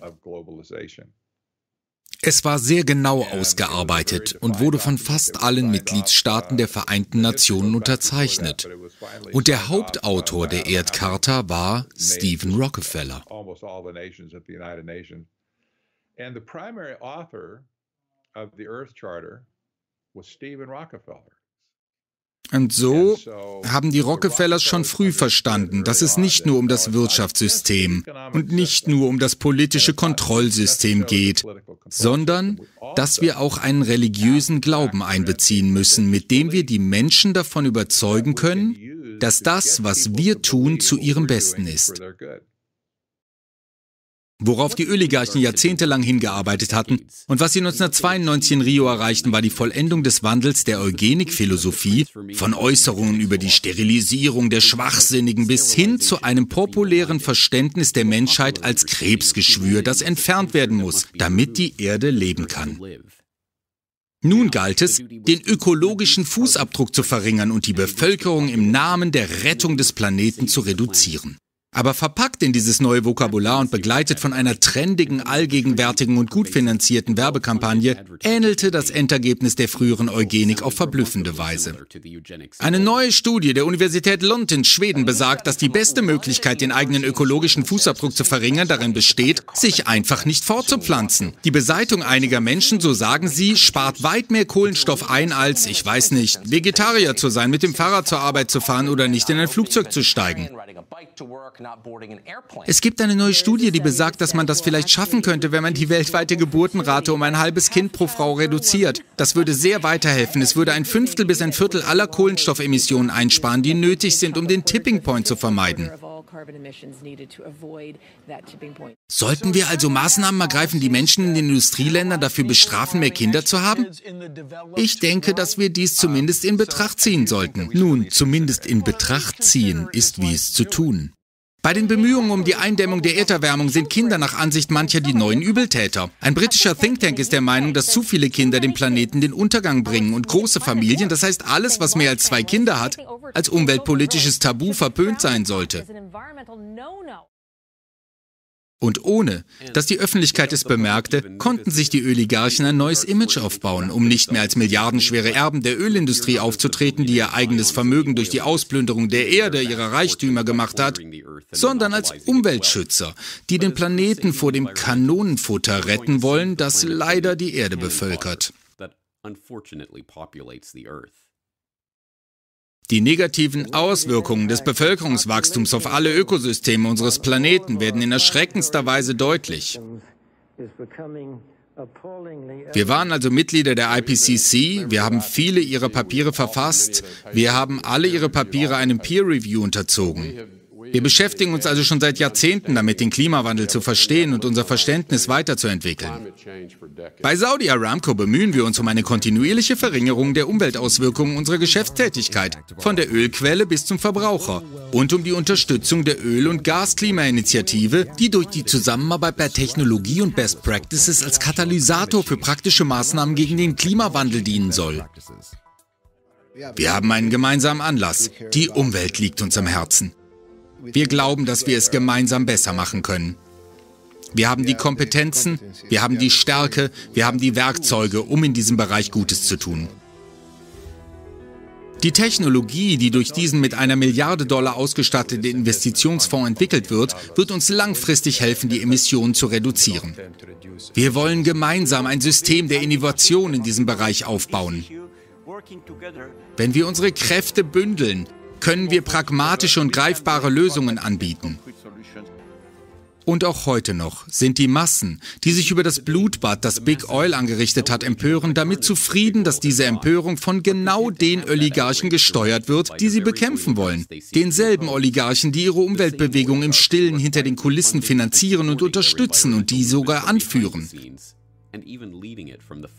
Die Familie Rockefeller machte Schlagzeilen, als sie sich 2016 vollständig vom Ölgeschäft trennte. Die Rockefellers, Erben eines Ölvermögens, das den Familiennamen zu einem Symbol für amerikanischen Reichtum gemacht hat, glauben, dass sie ihrem Namen gerecht werden, indem sie aus dem Ölgeschäft aussteigen. Fonddirektor Steffen Heinz äußerte sich in einer Erklärung ehrfürchtig über den Ölmagnaten Rockefeller. Wir sind davon überzeugt, dass er, wenn er heute noch leben würde, als kluger, zukunftsorientierter Geschäftsmann aus den fossilen Brennstoffen aussteigen und in eine saubere, erneuerbare Energie investieren würde. David de Rothschild ist eine der fotogenen Leitfiguren der Umweltbewegung. David de Rothschild, ein Spross der milliardenschweren Bankiersfamilie, die ihr Vermögen mit dem Erwerb von Ölquellen gemacht hat, vergrößert hat und noch immer über Unternehmen wie Genie Energy in Öl investiert, verbringt seine Zeit damit, die Öffentlichkeit darüber zu belehren, wie ihr Lebensstil die Eisbären tötet. Wegen seiner PR-Gags und Fototerminen, bei denen er sich als besorgter Umweltschützer ausgibt, wird er Plastik-Jesus genannt. Wir müssen schnell anfangen, Geld für die Lösungen auszugeben, die uns zur Verfügung stehen, um zu versuchen, den Ländern zu helfen, die bereits heute die Auswirkungen des Klimawandels und die Folgen unseres Konsums zu spüren bekommen. Prinz Charles spricht offen über die globale Erwärmung und warnt seine treuen Untertanen, dass sie den Weltuntergang herbeiführen, wenn sie nicht den Gürtel enger schnallen und ein bescheideneres Leben führen. Meine Damen und Herren, der Kampf gegen den Klimawandel ist sicherlich die bedeutendste und zentralste Herausforderung unserer Zeit. Wir können die Symptome nicht ignorieren und sollten jetzt handeln, um die Gesundheit unseres Planeten wiederherzustellen, bevor es zu spät ist. Dies wird selbstverständlich eine noch nie dagewesene Umgestaltung unserer Gemeinschaft, der Wissenschaft, der Gesellschaft und der Lebensstile erfordern. All dies baut auf den Übergang zu einer kohlenstoffarmen und kreislauforientierten Wirtschaft auf. Die Weichen für das, was die Oligarchen das Post-Kohlenstoffzeitalter nennen, sind gestellt. Es geht nicht mehr um Öl, darum ging es noch nie. Es geht um Kontrolle.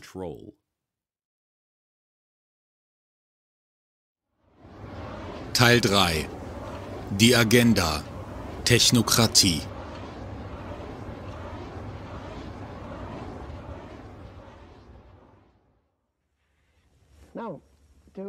Dieser weltweite Prozess, um ihnen eine zeitliche Einordnung zu geben, beginnt im Jahr 1857 und an diesem Punkt befanden wir uns vor drei oder vier Jahren. Dies sind die nachgewiesenen Reserven in der damaligen Zeit, die sich auf etwa bis zu diesem Niveau aufsummieren würden und der geschätzte Höchststand wird etwa 1995 eintreten und dann geht es bergab. Diese mittleren 80 Prozent erstrecken sich wiederum von den späten 60er Jahren bis nach 2020. Ich habe hier etwa 56 Jahre errechnet. Das setzt eine geregelte Fortentwicklung voraus. Das bedeutet, dass ein Kind, das zum Beispiel in den letzten zehn Jahren geboren wurde, wahrscheinlich miterleben wird, wie die Welt den größten Teil ihres Öls verbraucht, wenn es ein normales Leben lebt. Heute ist Marion King Hubbard vor allem als Shell-Ölforscher bekannt, der in den 50er Jahren mit der Vorhersage Berühmtheit erlangte, dass die USA den Höchststand der Ölförderung im Jahr 1970 erreichen würde und dass die Ölvorräte der Erde bis 2020 fast vollständig erschöpft sein würden. Diese Peak Oil Theorie, die manchmal immer noch als Hubbard's Peak bezeichnet wird, war, wie alles, was von Big Oil hervorgebracht wurde, eine geschickt eingefädelte Lüge, um den Markt an eine künstliche Verknappung zu gewöhnen und so die Ölpreise hochzuhalten. Hubbards Vorhersage basierte auf keinerlei empirischen Daten irgendeines Ölfeldes. Sie stützte sich auf seine falschen Vermutungen über die verbleibenden Ölreserven und verwendete ein heuristisches Instrument zur Modellierung der Produktion. Jahre später räumte Hubbards Schützling und Kollege bei Shell Oil Kenneth DeVice ein, die numerischen Methoden, die Hubbard für seine Vorhersage verwendete, sind nicht ganz präzise. Heute, 44 Jahre später, vermute ich, dass Hubbard wie jeder andere auch zuerst zu seiner Schlussfolgerung kam und danach nach Rohdaten und Methoden suchte, um seine Schlussfolgerung zu untermauern.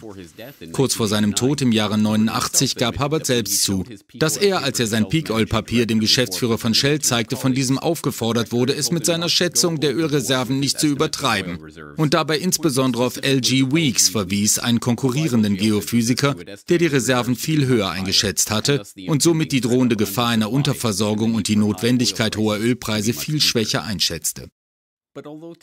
Doch obwohl Hubbard heute fast ausschließlich für seine Peak-Oil-These bekannt ist, war er in Wirklichkeit an einem viel größeren, lebenslangen Projekt beteiligt. Er trug dazu bei, eine Bewegung zu verfestigen und zu verankern, die, ähnlich wie die Eugenik, vor fast einem Jahrhundert sehr populär war, dann aber in der vornehmen Gesellschaft in Ungnade fiel und heute unter anderem Namen weitergeführt wird. Diese Bewegung wurde Technokratie genannt. Hallo, ich bin Arvid Peterson und dies ist der erste Teil einer zweiteiligen Präsentation über Technokratie, einem alternativen Gesellschaftssystem. Diese Sendung soll Sie nicht unterhalten oder amüsieren und auch nicht erschrecken. Wir gehen einen neuen Weg. Dieser ist nicht politisch, ökonomisch, philosophisch, rechtlich, religiös oder moralisch. Es ist ein technologischer Ansatz. Die Technokratie ist die wissenschaftliche Antwort auf die sozialen Probleme Amerikas. Ein neues Konzept für das gesellschaftliche Zusammenleben, das sich auf die Wissenschaft stützt. Sie ist das Mittel, mit dem wir in eine neue Ära für ein besseres Leben eintreten können. Die Technokratie bezeichnete sich selber als eine soziale Bewegung, eine Philosophie, eine wissenschaftliche Lösung für politische und wirtschaftliche Probleme und eine neue Art, die Welt zu organisieren. Aber im Grunde handelt es sich um eine Idee für eine neue internationale Wirtschaftsordnung, die bis ins kleinste Detail von einigen wenigen Auserwählten, den Technokraten, gestaltet und verwaltet werden soll. Die Technokratie wurde 1938 in ihrer eigenen Publikation The Technocrats Magazine kurz und bündig definiert. Sie nennen sie ein System, um die Gesellschaft wissenschaftlich zu gestalten. Sie sahen sich selbst als eine Verschmelzung von harter Wissenschaft und Sozialwissenschaft, was eigentlich ein Oxymoron ist. Meiner Meinung nach ist die Sozialwissenschaft keine wirkliche Wissenschaft, aber sie haben das geglaubt. Sie glaubten also, dass sie die wissenschaftliche Methode, die sie in den Naturwissenschaften anwenden, auf die Gesellschaft übertragen könnten. Sie glaubten auch, dass nur sie allein die Gesellschaft richtig führen könnten. Sie hassten die Politiker, sie hassten das Establishment, sie hassten die Organisation der Gesellschaft so wie sie ist, weil sie nicht effizient und ressourcenschonend war. Also machten sie es sich zur Aufgabe, das Wirtschaftsmodell zu definieren, das den Kapitalismus und das freie Unternehmertum ersetzen sollte. Und genau das war es auch. Ein Ersatz für das Wirtschaftssystem.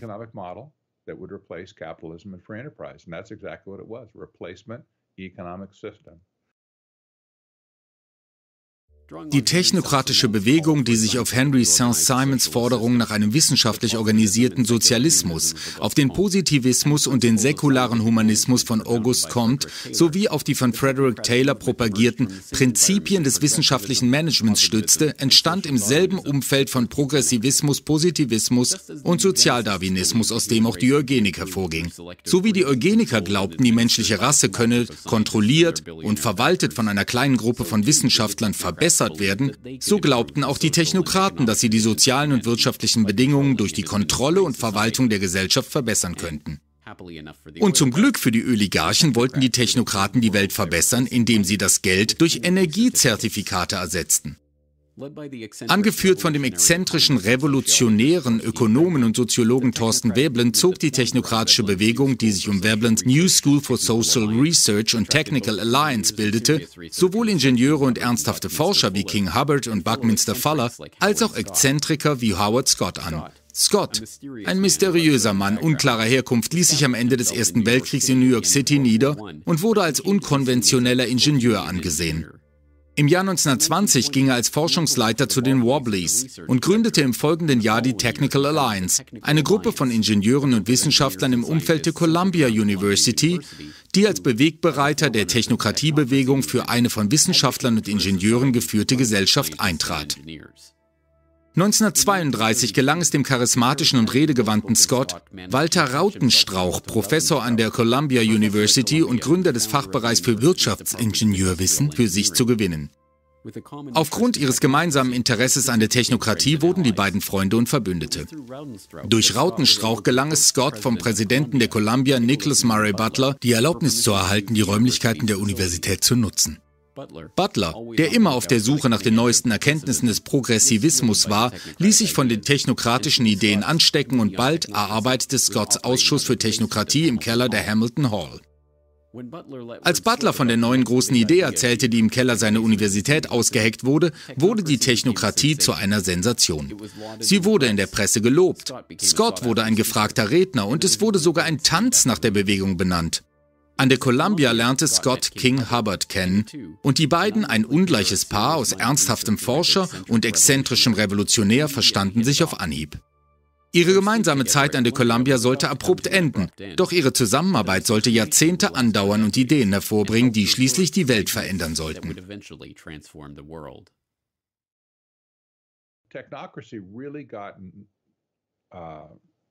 Die Technokratie wurde zum ersten Mal wirklich anerkannt, als sie an der Columbia war. Wir werden gleich darüber sprechen, dass sie nicht sehr lange dort waren, denn es stellte sich heraus, dass einer der Befürworter der Technokratie, Howard Scott, ein Betrüger war. Er war so etwas wie der Hauptsprecher der Bewegung und er hatte seinen Lebenslauf aufgehübscht, wie so viele Leute es heute leider tun. Er hat ihn aufgehübscht und im Grunde genommen einfach über seine Vergangenheit und seine Ausbildung gelogen. Und alle haben angenommen, dass er einen Abschluss in irgendeiner fortgeschrittenen Ingenieursdisziplin hat oder in was auch immer und alle Schlagworte kennt. Aber irgendein scharfsinniger Reporter stellte Nachforschung an und sagte, ich kann nirgendwo finden, wo dieser Kerl seinen Abschluss gemacht hat. Und als die Columbia herausfand, dass der Kerl ein Betrüger war, wurde ihnen klar, dass, nun ja, Butlers Ego im Spiel war. Und er sagte, Mann, diese Leute haben mich verarscht. Und so warf er sie alle raus. Einfach, kaboom. Er schmiss sie einfach raus. Er sagte, raus aus meinem Institut. Und sie verließen alle das Gebäude und zerstreuten sich. Einige Technokraten, die an der Columbia übrig geblieben waren, weil sie zu dieser Zeit Professoren dort waren, hielten einfach den Mund, gingen zurück an die Arbeit und dachten sich, ich will meinen Job behalten. Ich werde einfach nie wieder von Technokratie sprechen. Das bedeutete nicht, dass sie aufhörten daran zu glauben, aber sie sprachen an der Columbia sehr, sehr lange nicht mehr darüber. In Ungnade gefallen und von der Columbia vertrieben, während sich das Komitee für Technokratie fast so schnell aufgelöst hatte, wie es entstanden war, befand sich Scott an einem persönlichen Tiefpunkt. Da er mittellos war und alte Schulden ihn einholten, gab es nur eine Person, auf die er sich verlassen konnte, M. King Hubbard. Hubbard ließ Scott in seiner Wohnung in Greenwich Village wohnen und zahlte die Einrichtung der Gründungsurkunde für Technocracy Inc., einer neuen Mitgliederorganisation, die die Prinzipien der Technokratie weiterführen sollte, aus eigener Tasche. Der erste Schritt bestand natürlich darin, genau zu definieren, was diese Grundsätze waren. Hubbard machte sich an die Arbeit und verfasste den Technokratie-Studienkurs, die Bibel der Technokratiebewegung. Darin entwarf Hubbard die Vision einer Fülle von materiellem Reichtum in kontinentalem Ausmaß zur Nutzung durch alle Bürger des Kontinents, die, so warnte er, nur durch eine kontinentale technologische Kontrolle, eine Steuerung der Abläufe, ein Technat erreicht werden kann. Das technokratische System sollte auf einem neuen monetären Paradigma basieren, das nicht auf Dollars und Cent, sondern auf Energiezertifikaten beruhte, die die Nettoenergieausgaben der Nation darstellen sollten. Diese Zertifikate sollten in Joule ausgedrückt und auf der Grundlage eines von den Wissenschaftlern des technokratischen Staates als angemessen erachteten Nettoenergiebudgets ausgegeben werden. Die Bürgerinnen und Bürger würden die Zertifikate der Nation zu gleichen Anteilen erhalten und ihre Einkäufe damit tätigen. Die Informationen Informationen über diese Einkäufe würden zur Analyse an die zentrale Planungsstelle weitergegeben werden. Mit dieser Methode könnten die Technokraten eine thermodynamisch ausgewogene Belastung von Produktion und Konsum schaffen und damit Arbeitslosigkeit, Schulden und soziale Ungerechtigkeit beseitigen. Im Technokratie-Studienkurs legte Hubbard, wie es sich für einen guten Technokraten gehört, die genauen Bedingungen dar, die erfüllt sein müssen, damit diese Vision Wirklichkeit werden kann. Ihm zufolge würde die Technokratie Folgendes erfordern. Eine kontinuierliche unverzügliche Berechnung und Registrierung des gesamten Energieverbrauchs und aller Verbraucherausgaben im ganzen Land. Eine pausenlose Bestandsaufnahme der gesamten Produktion und des Verbrauchs. Ein vollständiges Verzeichnis aller zum Verkauf angebotenen Produkte, wo sie hergestellt wurden, wie viel Energie für ihre Herstellung aufgewendet wurde und wo und wann sie verkauft wurden. Und schließlich eine spezifische Registrierung des Verbrauchs jeder einzelnen Person sowie die Aufzeichnung und Beschreibung der Person. Hubbards Vision war nicht nur die einer totalitären Gesellschaft, in der jedes Detail jeder Interaktion aufgezeichnet und an eine zentrale Behörde gemeldet wurde. Für die 1930er Jahre war das Konzept von ständig und sofort aktualisierten Listen aller Güter in der Wirtschaft nicht nur kühn, sondern geradezu wahnsinnig. Dennoch waren die Amerikaner, die unter der großen Depression litten, bereit, sich jede noch so ausgefallene Idee anzuhören, um das derzeitige System zu ersetzen, das sie so offensichtlich im Stich gelassen hatte. Technocracy Inc. zog eine Fangemeinde an, die im Laufe des Jahrzehnts in die Zehntausender anwuchs. Doch Scotts exzentrische Art, mit der er die Mitglieder zwang, vor ihm in der Öffentlichkeit den Hut zu ziehen und mit der er weitschweifige Radioansprachen hielt, führte letztlich dazu, dass die Bewegung langsam an Bedeutung verlor. Hubbard lehnte das Konzept der Technokratie nie ab, aber als er bei Shell als Forscher anfing, legte er seine Position im Vorstand der Technocracy Inc. nieder und vermied es, die Organisation direkt zu erwähnen. Die Technokraten hatten die Umrisse einer vollständig geordneten und kontrollierten Gesellschaft entworfen, in der Energie das grundlegende Maß für Wert ist und der gesamte Verbrauch und die gesamte Produktion von einer zentralen Behörde akribisch analysiert wird. Die Technokratie Inc. existiert noch heute, aber die Sprache und das Denken der Technokraten haben wie die Eugenik eine Metamorphose durchlaufen. Und wie bei der Eugenik mag auch hier der Name in Vergessenheit geraten sein aber die Idee lebt in den Händen der Oligarchen weiter. Würden Sie einen umweltfreundlicheren Lebensstil pflegen, wenn Sie damit Geld verdienen könnten? Dies könnte möglich sein, wenn ein Regierungsvorschlag für persönliche Kohlenstoffemissionszertifikate umgesetzt wird. Im Rahmen dieser Regelung würden jedem Einwohner des Vereinigten Königreichs jährlich ein Kohlenstoffzertifikat zugeteilt werden. Elektronisch gespeichert wie bei einer Supermarkt-Treuekarte würden jedes Mal Punkte abgezogen, wenn wir nicht erneuerbare Energien kaufen oder verbrauchen. Zum Beispiel bei der Verwendung von Elektrizität oder beim Reisen mit dem Flugzeug oder sogar beim Tanken. Die übrig gebliebenen Punkte könnten dann an eine Zentralbank verkauft werden und diejenigen, die mehr brauchen, wie die Autofahrer, könnten dann für die Aufstockung bezahlen. Rationierung von CO2, CO2-Handel, CO2-Steuern, Cap and Trade. So wie sich die einstigen Technokraten eine neue Wirtschaftsordnung auf der Grundlage von Energie vorstellten, die durch das Diktat von Wissenschaftlern und Ingenieuren bestimmt wird, so stellt sich auch diese moderne Form der Technokratie eine Wirtschaftsordnung vor, in der Energie von zwischenstaatlichen Gremien, bestehend aus Wissenschaftlern und der politischen Kaste, die sich um diese Institutionen herum bildet, budgetiert, bepreist und gehandelt wird. Environmental Protection Agency is not friv a frivolous agency. It is created to das Umweltamt ist keine belanglose Behörde. Es wurde geschaffen, um die Kohlendioxidemissionen zu regulieren. Und ich habe der West Virginia Coal Association, die größtenteils nicht an die Klimawissenschaft glaubt. Sie glaubt nicht, dass es ein Klimaproblem gibt, schon seit Jahren gesagt, dass das falsch ist. Meiner Meinung nach sind die Forschungsergebnisse wahr. Die Forschungsergebnisse sind eindeutig wahr und es gibt einen Preis für Kohlenstoff in der Zukunft. Ich habe das schon vor ein paar Monaten gesagt. In der Zukunft wird Kohlenstoff einen Preis haben. Aber ich glaube, dass das Cap-and-Trade-Konzept der wesentliche erste Schritt ist, auch weil es die einzige Grundlage ist, auf der wir uns ein wirklich globales Abkommen vorstellen können, denn eine harmonisierte globale Steuer ist sehr schwer vorstellbar. Eine Kohlenstoffsteuer oder eine andere Art der Bepreisung von Kohlenstoff ist aus wirtschaftlicher Sicht der effektivste und effizienteste Weg, dies zu tun. Man kann regulieren und alles Mögliche tun, aber nichts ist ein so starkes Marktsignal für den privaten Sektor wie ein Kohlenstoffpreis. Sei es eine CO2-Steuer oder ein Cap-and-Trade-System, wie es Kalifornien praktiziert oder eine der anderen Maßnahmen, die letztendlich einen Kohlenstoffpreis ergeben. Das ist das einfachste, sauberste und stärkste Signal. Wenn das also möglich ist, stimme ich Ihnen zu. Diese Maßnahmen werden der Öffentlichkeit als Mittel zur Bestrafung der großen Ölkonzerne verkauft, die das letzte Jahrhundert damit verbracht haben, die wichtigsten Ressourcen der Welt zu monopolisieren und die Erde in ihrem Streben nach Profit zu plündern.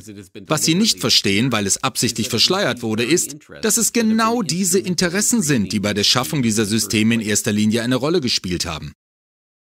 Soweit ich weiß, hat der Vorstandsvorsitzende von Enron, Ken Lay, 1997, als Sie Vizepräsident waren, mit Ihnen im Weißen Haus Gespräche über die Entwicklung dieser Art von Politik, über dieses Handelssystem geführt. Ist das richtig? Ist es ungenau? Es ist berichtet worden. Ich weiß es nicht. Aber ich habe mich, wie viele andere auch, mit Ken Lay getroffen, bevor jemand wusste, dass er ein Gauner ist. Richtig. Sie sehen, warum so viele von uns über diese Art von Cap-and-Trade-Energiesteuer besorgt sind, die die Energiewirtschaft dieses Landes buchstäblich auf den Kopf stellen würde. Ich kannte ihn nicht gut genug, um ihn Kenny Boy zu nennen. Aber sie kannten ihn gut genug, um bei der Ausarbeitung dieses Handelsplans zu helfen. In den frühen 90er Jahren war Enron das in Ungnade gefallene texanische Energiehandelsunternehmen, das sich als kompletter Betrug entpuppte, die Speerspitze des 20 Milliarden Dollar schweren Cap-and-Trade-Programms der EPA und wurde prompt zum größten Händler auf dem Markt. Daraufhin begann das Unternehmen unter der Leitung von Ken Lay Lobbyarbeit bei der Clinton-Regierung und insbesondere bei Vizepräsident Al Gore zu betreiben, um einen ähnlichen Markt für Kohlendioxid zu schaffen. Enron verteilte großzügige Spenden an Umweltgruppen wie die Nature Conservancy, deren Climate Change Projekt sich für die Beschränkung der Kohlenstoffemissionen einsetzte und engagierte Christoph Horner, einen ehemaligen Mitarbeiter des Umweltausschusses von Senator Joe Lieberman, um sich für ein internationales Abkommen einzusetzen, das den Handel mit Emissionsrechten ermöglichen würde. Unterstützt wurden sie dabei von Goldman Sachs, der berüchtigten Wall Street Investment Bank, die heute als die Drehtür zwischen dem Unternehmen und dem US-Finanzministerium bekannt ist und die bei der Gründung der Chicagoer Klimabörse als erste nordamerikanische Emissionshandelsplattform half. Im Jahr 2004 gründete Al Gore, der die letzten zwei Jahrzehnte damit verbracht hatte, Lobbyarbeit für die Schaffung eines Marktes für diesen Handel zu betreiben, zusammen mit David Blood, Generation Investment Management, eine Investment-Management-Partnerschaft, die Emissionszertifikate verkauft. Blood war CEO von Goldman Sachs Asset Management und trat von seiner Position bei Goldman zurück, um mit Gore ins Geschäft zu kommen. Am Ende des Jahrzehnts wurde Gore als erster Kohlenstoffmilliardär der Welt gehandelt. Gore ist selbst ein Oligarch. Sein Vater Al Gore Senior war ein enger Freund von Armand Hammer, dem Ölmagnaten hinter Occidental Petroleum. Nachdem er 1970 eine Senatswahl verloren hatte, arbeitete Gores Vater für 500.000 Dollar pro Jahr bei Occidental für Hammer. Im Laufe seiner Karriere häufte Gore Senior Aktien von Occidental im Wert von 100.000 von Dollar an, die zum Zeitpunkt seines Todes in die Hände von Al Gore gingen. Die Verbindung zu Occidental endet hier aber noch nicht. Als Hammer auf seinem Anwesen in Tennessee Zinkerz entdeckte, kaufte er das Land der Gores und verkaufte es ihnen mit einem Anspruch auf die Schürfrechte zurück, verbunden mit einer jährlichen Zahlung von 20.000 Dollar, die auch nach dem Tod seines Vaters an Gore ging. Im Jahr 2013 erhielt Gore von der katarischen Regierung 100 Millionen Dollar für den Verkauf seines Current TV-Unternehmens und war dann überrascht, als die Reporter mehr an seinem Ölgeld als an seinem neuen Buch über die Erwärmung der Erde interessiert waren. Die Geschichte von Gore ist jedoch nur ein Beispiel für ein größeres Phänomen. Im Jahr 2006 wurde die United States Climate Action Partnership gegründet, um einen Aufruf zum Handeln zur Verringerung der Kohlenstoffemissionen zu verfassen. Sie entwarf den Blueprint für Legislative Action, der die Grundlage für den American Clean Energy Act bildete, mit dem ein Emissionshandelssystem nach dem Vorbild der Europäischen Union geschaffen werden sollte. Und die Mitglieder des US Climate Action Partnership? Ein Who is Who der Oligarchie, darunter BP, ConocoPhillips und General Motors. Kohlenstoffsteuern und Kohlenstoffhandel haben sich für eine zunehmend misstrauische Öffentlichkeit als schwer zu verkaufen erwiesen. Aber mit dem Pariser Abkommen von 2015 hat die Welt den bisher größten Schritt in Richtung dieser technokratischen Zukunft der Energiekontrolle und Kohlenstoffrationierung gemacht. So ist es nicht verwunderlich, dass der Gipfel selbst von Big Oil gesponsert und prominent unterstützt wurde.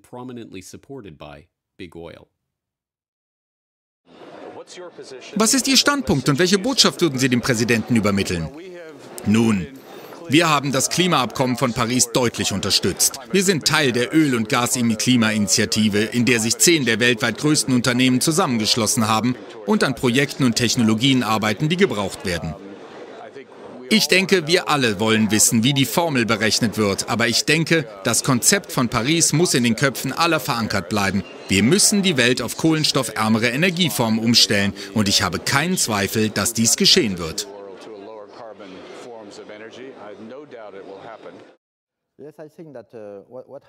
Ja, ich denke, dass das, was in Paris passiert ist, sehr, sehr wichtig ist. Und Herr Ban Ki-moon hat gestern gesagt, dass es nicht nur für den Planeten, nicht nur für uns Bürger, nicht nur für unsere Kinder, sondern auch für die Wirtschaft wichtig ist. Die Verwendung von Energie als neuer Wertmaßstab für die Post-Kohlenstoffwirtschaft ist jedoch nur ein Element der neotechnokratischen Vision. Als Hubbard seinen Technokratie-Studienkurs schrieb, machte er deutlich, dass die Technokratie ohne eine 24-7-Überwachung des gesamten Energieverbrauchs und einen kontinuierlichen Datenstrom über alle von der Gesellschaft produzierten und verbrauchten Güter nicht verwirklicht werden kann. Doch während ein solches System in den 30er Jahren noch wie eine wahnwitzige Fantasie erschien, wird es heute bereits umgesetzt.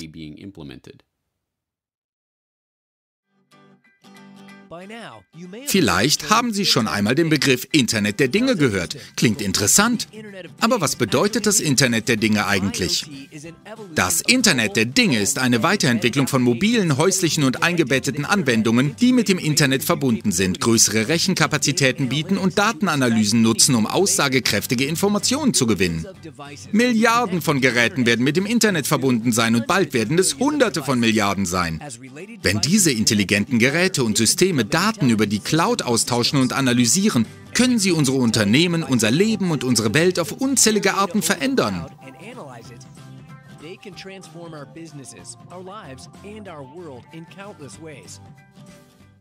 Warum eine intelligente Stadt schaffen? Intelligente Städte sind bürgernäher und tragen zur Verrinnerung der Umweltbelastung bei. Sie sind kostengünstiger und sicherer. Intelligente Städte machen die Menschen glücklicher und verbinden sie stärker mit ihrem sozialen Umfeld. Die Städte werden zunehmend ausgestattet. Sensoren, die die Erfassung aller Arten von Daten ermöglichen, werden in alle städtischen Systeme integriert und liefern wichtige Informationen über den Betrieb der Stadt. Sensoren auf einer Brücke übermitteln Daten über ihren Zustand. Eine Kamera auf einer Autobahn meldet den Verkehrsfluss und digitale Zähler erfassen den Wasser- und Energieverbrauch in Echtzeit. Mobile und soziale Kanäle ermöglichen es Kommunalverwaltungen und Bürgern miteinander zu kommunizieren, wodurch eine weitere Quelle nützlicher Daten geschaffen wird. Mithilfe fortschrittlicher Analyseverfahren lassen sich in diesen riesigen Datenmengen nun problemlos Tendenzen und Muster erkennen. Informationen können integriert, gesammelt und über Dashboards, Visualisierungen und Warnmeldungen weitergegeben werden, um das Verständnis und die Zusammenarbeit zwischen Systemen, Behörden und Gruppen zu erleichtern. Dieses Kaufhaus in Bandang hat eine neue Art des Einkaufens eingeführt. Mit dem Smart Shopper System scannen die Kunden den Artikel, den sie kaufen möchten. Damit entfällt das lästige Tragen von schweren Einkaufskörben, ganz zu schweigen von der Mühe, die Einkäufe nach Hause zu bringen. Nachdem sie die Artikel an einem automatisierten Schalter bezahlt haben, werden die Waren direkt zu ihnen nach Hause geliefert. Früher musste ich in langen Schlangen an der Kasse warten, aber jetzt kann ich mit dem Smart Shopper System bezahlen. Das ist wirklich sehr bequem.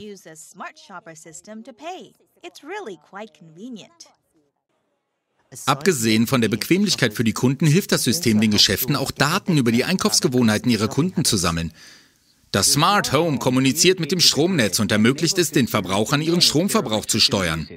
Durch die häufigere Messung des Stromverbrauchs der Haushalte mit Hilfe eines intelligenten Zählers können die Versorgungsunternehmen ihren Kunden viel bessere Informationen zur Verwaltung ihrer Stromrechnung liefern.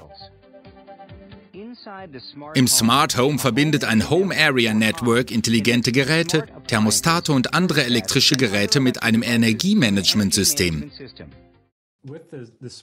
Mit den intelligenten Zählern werden Sie in der Lage sein, auf der Grundlage einer 24-7-Kommunikation mit all Ihren Geräten bis auf die Mikrosekunde genau zu wissen, was in Ihrem Haus vor sich geht. Also in Zukunft werden alle Ihre Geräte mit einem drahtlosen Sender ausgestattet sein und im Rahmen eines intelligenten Programms zertifiziert werden müssen, falls die Richtlinie vollständig umgesetzt wird und es nicht zu einer öffentlichen Gegenreaktion kommt. Das bedeutet also nicht nur, dass Ihr intelligenter Zähler durchschnittlich 13.000 Mikrowellenimpulse pro Tag aussendet, sondern auch, dass jedes Ihrer Geräte dasselbe tut, weil es mit dem intelligenten Zähler selbst kommunizieren muss. Das ist also ein ernstes Problem, auf das wir später noch eingehen werden.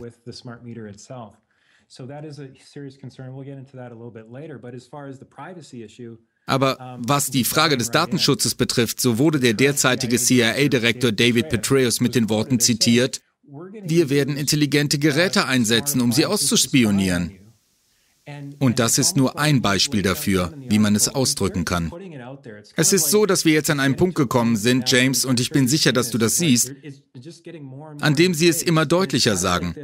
Es ist eine Art geballte Macht der Kontrollausübenden, die sagen, wir werden Folgendes tun. Und was wollt ihr dagegen tun? Sie fordern uns also fast wie ein Rowdy in der Schule heraus. Was wollt ihr dagegen tun?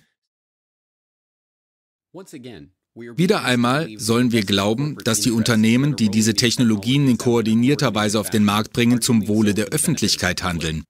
Dass diese Technologie helfen soll, die Erde zu retten. Und wieder einmal werden wir betrogen. Bei der technokratischen Agenda geht es nicht darum, die Erde zu retten. Es geht nicht darum, der Öffentlichkeit zu helfen. Es geht nicht einmal darum, Geld zu verdienen. Es geht um die vollständige Kontrolle jedes Aspekts unseres täglichen Lebens.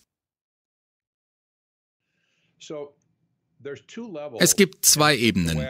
So wie ich die Technokratie sehe, gibt es zwei Ebenen, die gleichzeitig existieren. Es gibt eine operative Seite, die mit Dingen wie dem intelligenten Stromnetz zu tun hat. Das hat mit Dingen wie verschiedenen technokratischen Innovationen, Überwachung und anderen wichtigen Themen der Technokratie zu tun. Dies sind die operativen Fragen. Aus strategischer Perspektive, von der aus Leute wie die Rockefellers agieren, sieht die Richtung anders aus. Auf operative Ebene steuert es auf eine Wissenschaftsdiktatur zu und man muss kein Visionär mehr sein, um das zu erkennen. Es ist da. Aber auf strategischer Ebene findet überall auf dem Planeten ein massiver Griff nach den Ressourcen statt. Und wenn ich von einem Griff nach den Ressourcen spreche, dann muss man sich in die Schuhe der Rockefellers, der Bankiers, der Rothschilds hineinversetzen und sagen, was macht man, wenn das Geld nicht mehr da ist? Was macht ihr dann? Was bleibt übrig, wenn man allen Wert aus dem Geldsystem, das man selbst geschaffen hat, abgeschöpft hat? Nun, Sie und ich denken nicht über diese Art von Dingen nach, weil wir nicht so viel Geld haben. Aber diese Leute an der Spitze, besonders die Banker, liegen nachts wach und denken, was kommt nach dem Geld? Was kommt nach dem Geld? Da bin ich mir sicher. Insbesondere die Familie Rockefeller war schon immer eine ressourcenstarke Familie. Darum ging es beim Öl von Anfang an. Es handelte sich um eine Ressource und sie waren sich darüber im Klaren, dass Energie der wichtigste Faktor in der Welt sein würde und nicht irgendeine andere Ressource. Das haben sie verstanden. Deshalb wollten sie ein Energiemonopol schaffen. Nun heute, da das Geld ausgeschöpft ist, bleibt nur noch der Griff nach den Ressourcen selbst. Und genau darum geht es bei der nachhaltigen Entwicklung. Es geht darum, die Ressourcen der Welt von dir und mir wegzunehmen, weg von privaten Unternehmen, die sozusagen nicht Teil der Clique sind, und sie in einen globalen gemeinsamen Trust einzubringen, der von ihnen zu ihrem eigenen Vorteil verwaltet wird. Das ist in Wirklichkeit nichts anderes als Neofeudalismus, bei dem die Ressourcen im Besitz einiger weniger sind und alle anderen mit diesen Ressourcen nur nach deren Gutdünken und Ermessen umgehen können.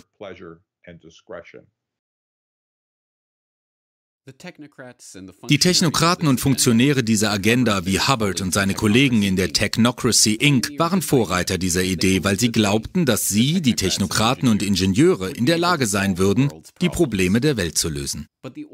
Aber die Oligarchen und Banker, die ihre Ideen finanzierten, taten dies, weil es ihnen helfen würde, die Herrscher eines Systems zu werden, das so perfekt gestaltet sein würde, dass keine Ressource, keine Ware, keine Person außerhalb ihrer Kontrolle liegen würde. Und jetzt, im 21. Jahrhundert, ist diese technokratische Vision in Reichweite. Und sie wird von einer Öffentlichkeit unterstützt, die glaubt, dass die kohlenstofffreie Zukunft das Ende der Oligarchie bedeutet. Sie könnten sich nicht mehr irren. Zusammenfassung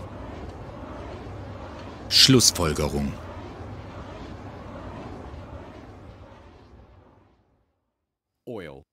Öl. Es ging nie um Öl. Es ging um Kontrolle. Kontrolle über Energie, Produktion und Konsum. Kontrolle über die Ressourcen der Erde. Kontrolle über die Bevölkerung. Kontrolle über die Menschheit selbst. Alles andere, was die Elite anführt, ist nichts weiter als ein Vorwand für das, was sie von Anfang an vorhatte. In Tragedy and Hope A101 erörtere ich das Konzept der Elite, die alle bewohnbaren Teile der Welt beherrschen will. Und sie will sich diese Macht nicht sichern, um sie sich dann wieder wegnehmen zu lassen. Also lassen sie sich Vorwände einfallen, die sie sowohl der Öffentlichkeit als auch der politischen Klasse verkaufen können, um ihr Vorhaben zu rechtfertigen.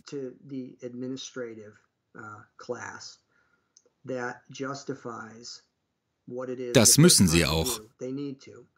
Ob es sich nun um die Erderwärmungshysterie handelt oder um Technokratie, ob es um die Agenda 2030 oder um Eugenik geht.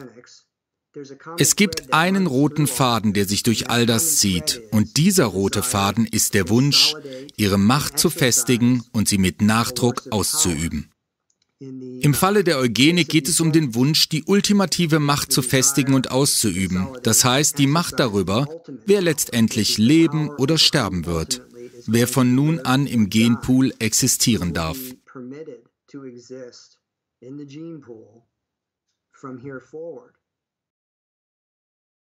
Das Bild ist düster. Und es wird noch düsterer durch die Tatsache, dass so viele dem Glauben verfallen sind, dass die ultimative Agenda der Oligarchen, eine Agenda der technokratischen Kontrolle, des Mikromanagements unseres täglichen Lebens und letztendlich der Eliminierung des Kanonenfutters aus dem Genpool, tatsächlich in ihrem eigenen Interesse ist. Die Oligarchen, die sich hinter ihrem Deckmantel der nachhaltigen Entwicklung und der Postkohlenstoffwirtschaft verstecken, sind ihrem wahren Ziel der totalen Kontrolle näher als je zuvor. Aber wenn die Menschen aus Unkenntnis dieser Agenda zugrunde gehen, dann ist Einsicht der erste Schritt zur Rettung. It's hard to fight an enemy es ist schwer, einen Feind zu bekämpfen, den man nicht kennt oder nicht sehen kann. Meiner Meinung nach ist das größte Problem der heutigen Welt, dass die Menschen dieses Problem überhaupt nicht wahrnehmen. Sie haben ihre Spuren so gut verwischt, dass niemand sie sehen kann. Wie kannst du einen Feind bekämpfen, den du nicht kennst? Ich glaube, der berühmte chinesische General Sun Tzu hat das schon vor Hunderten von Jahren gesagt. Du kannst keinen Feind bekämpfen, den du nicht kennst. Zuerst müssen wir den Feind erkennen. Nun, Big Oil hat die Welt erobert, weil das Ziel die Monopolisierung aller Ressourcen auf dem Planeten ist. Und um dieses Ziel zu erreichen, muss man die Energiebelange der Menschen auf dem Planeten monopolisieren. Aber man muss auch die Nahrung kontrollieren. Die eigentliche Energie für die Menschen, deren Energie man kontrollieren will. Wenn man diese beiden Aspekte kontrolliert, die grüne Revolution und die Genrevolution, dann ist man in der Lage, den gesamten Planeten zu kontrollieren, jede seiner Ressourcen und im Grunde die Freiheit für den Rest der Geschichte auszulöschen. Wie Big Oil die Welt eroberte, gibt es bereits als Film. Warum Big Oil die Welt erobert hat, hat mit der Frage zu tun, wie man die Bevölkerung kontrollieren kann. Nicht wegen Geld, denn das sind die Leute, die Geld aus dem Nichts drucken und es uns in Rechnung stellen. Es ist also tatsächlich eine Studie der Macht. Aber warum wollen sie das mit dem Rest von uns machen? Weil sie es konnten, weil wir es bisher toleriert haben und weil wir nicht genug Widerstand geleistet haben, um es zu stoppen. Das ist also die Situation, in der wir uns heute befinden. Wir müssen uns über die Geschichte informieren, damit wir unseren Kurs für die Zukunft festlegen können, um einen Weg zu finden, der zu geistiger Freiheit, physischer Freiheit und Gerechtigkeit für alle führt. Big Oil. Big Oil. Big Pharma, Gentechnik, die grüne Revolution, die Umweltbewegung, Eugenik, Technokratie. Nicht einer in tausend Menschen kann die historische Entwicklung dieser Ideen im Detail beschreiben oder die Akteure und ihre Agenda, die sie miteinander verbindet. Aber wenn Sie diesen Dokumentarfilm gesehen haben, dann sind Sie dieser eine unter tausend Menschen. Die Frage ist, was Sie mit diesen Informationen tun werden. Während das Streben der Oligarchen nach totaler Kontrolle immer deutlicher wird, fällt es schwer, sich daran zu erinnern, dass alles vor anderthalb Jahrhunderten mit Devil Bill Rockefeller begann, einem zweitklassigen Schlangenölverkäufer, der immer auf der Flucht vor der letzten Gruppe Geschädigter war, die er betrogen hatte. In gewisser Weise hat sich, außer dem Ausmaß des Betrugs und der Zahl der Opfer, die auf die Masche hereingefallen sind, nichts geändert. Aber da Sie nun wissen, welches Schlangenöl der Öffentlichkeit vorgesetzt wird, ist die einzige Frage, die zählt. Werden Sie es trinken? Down in Pennsylvania,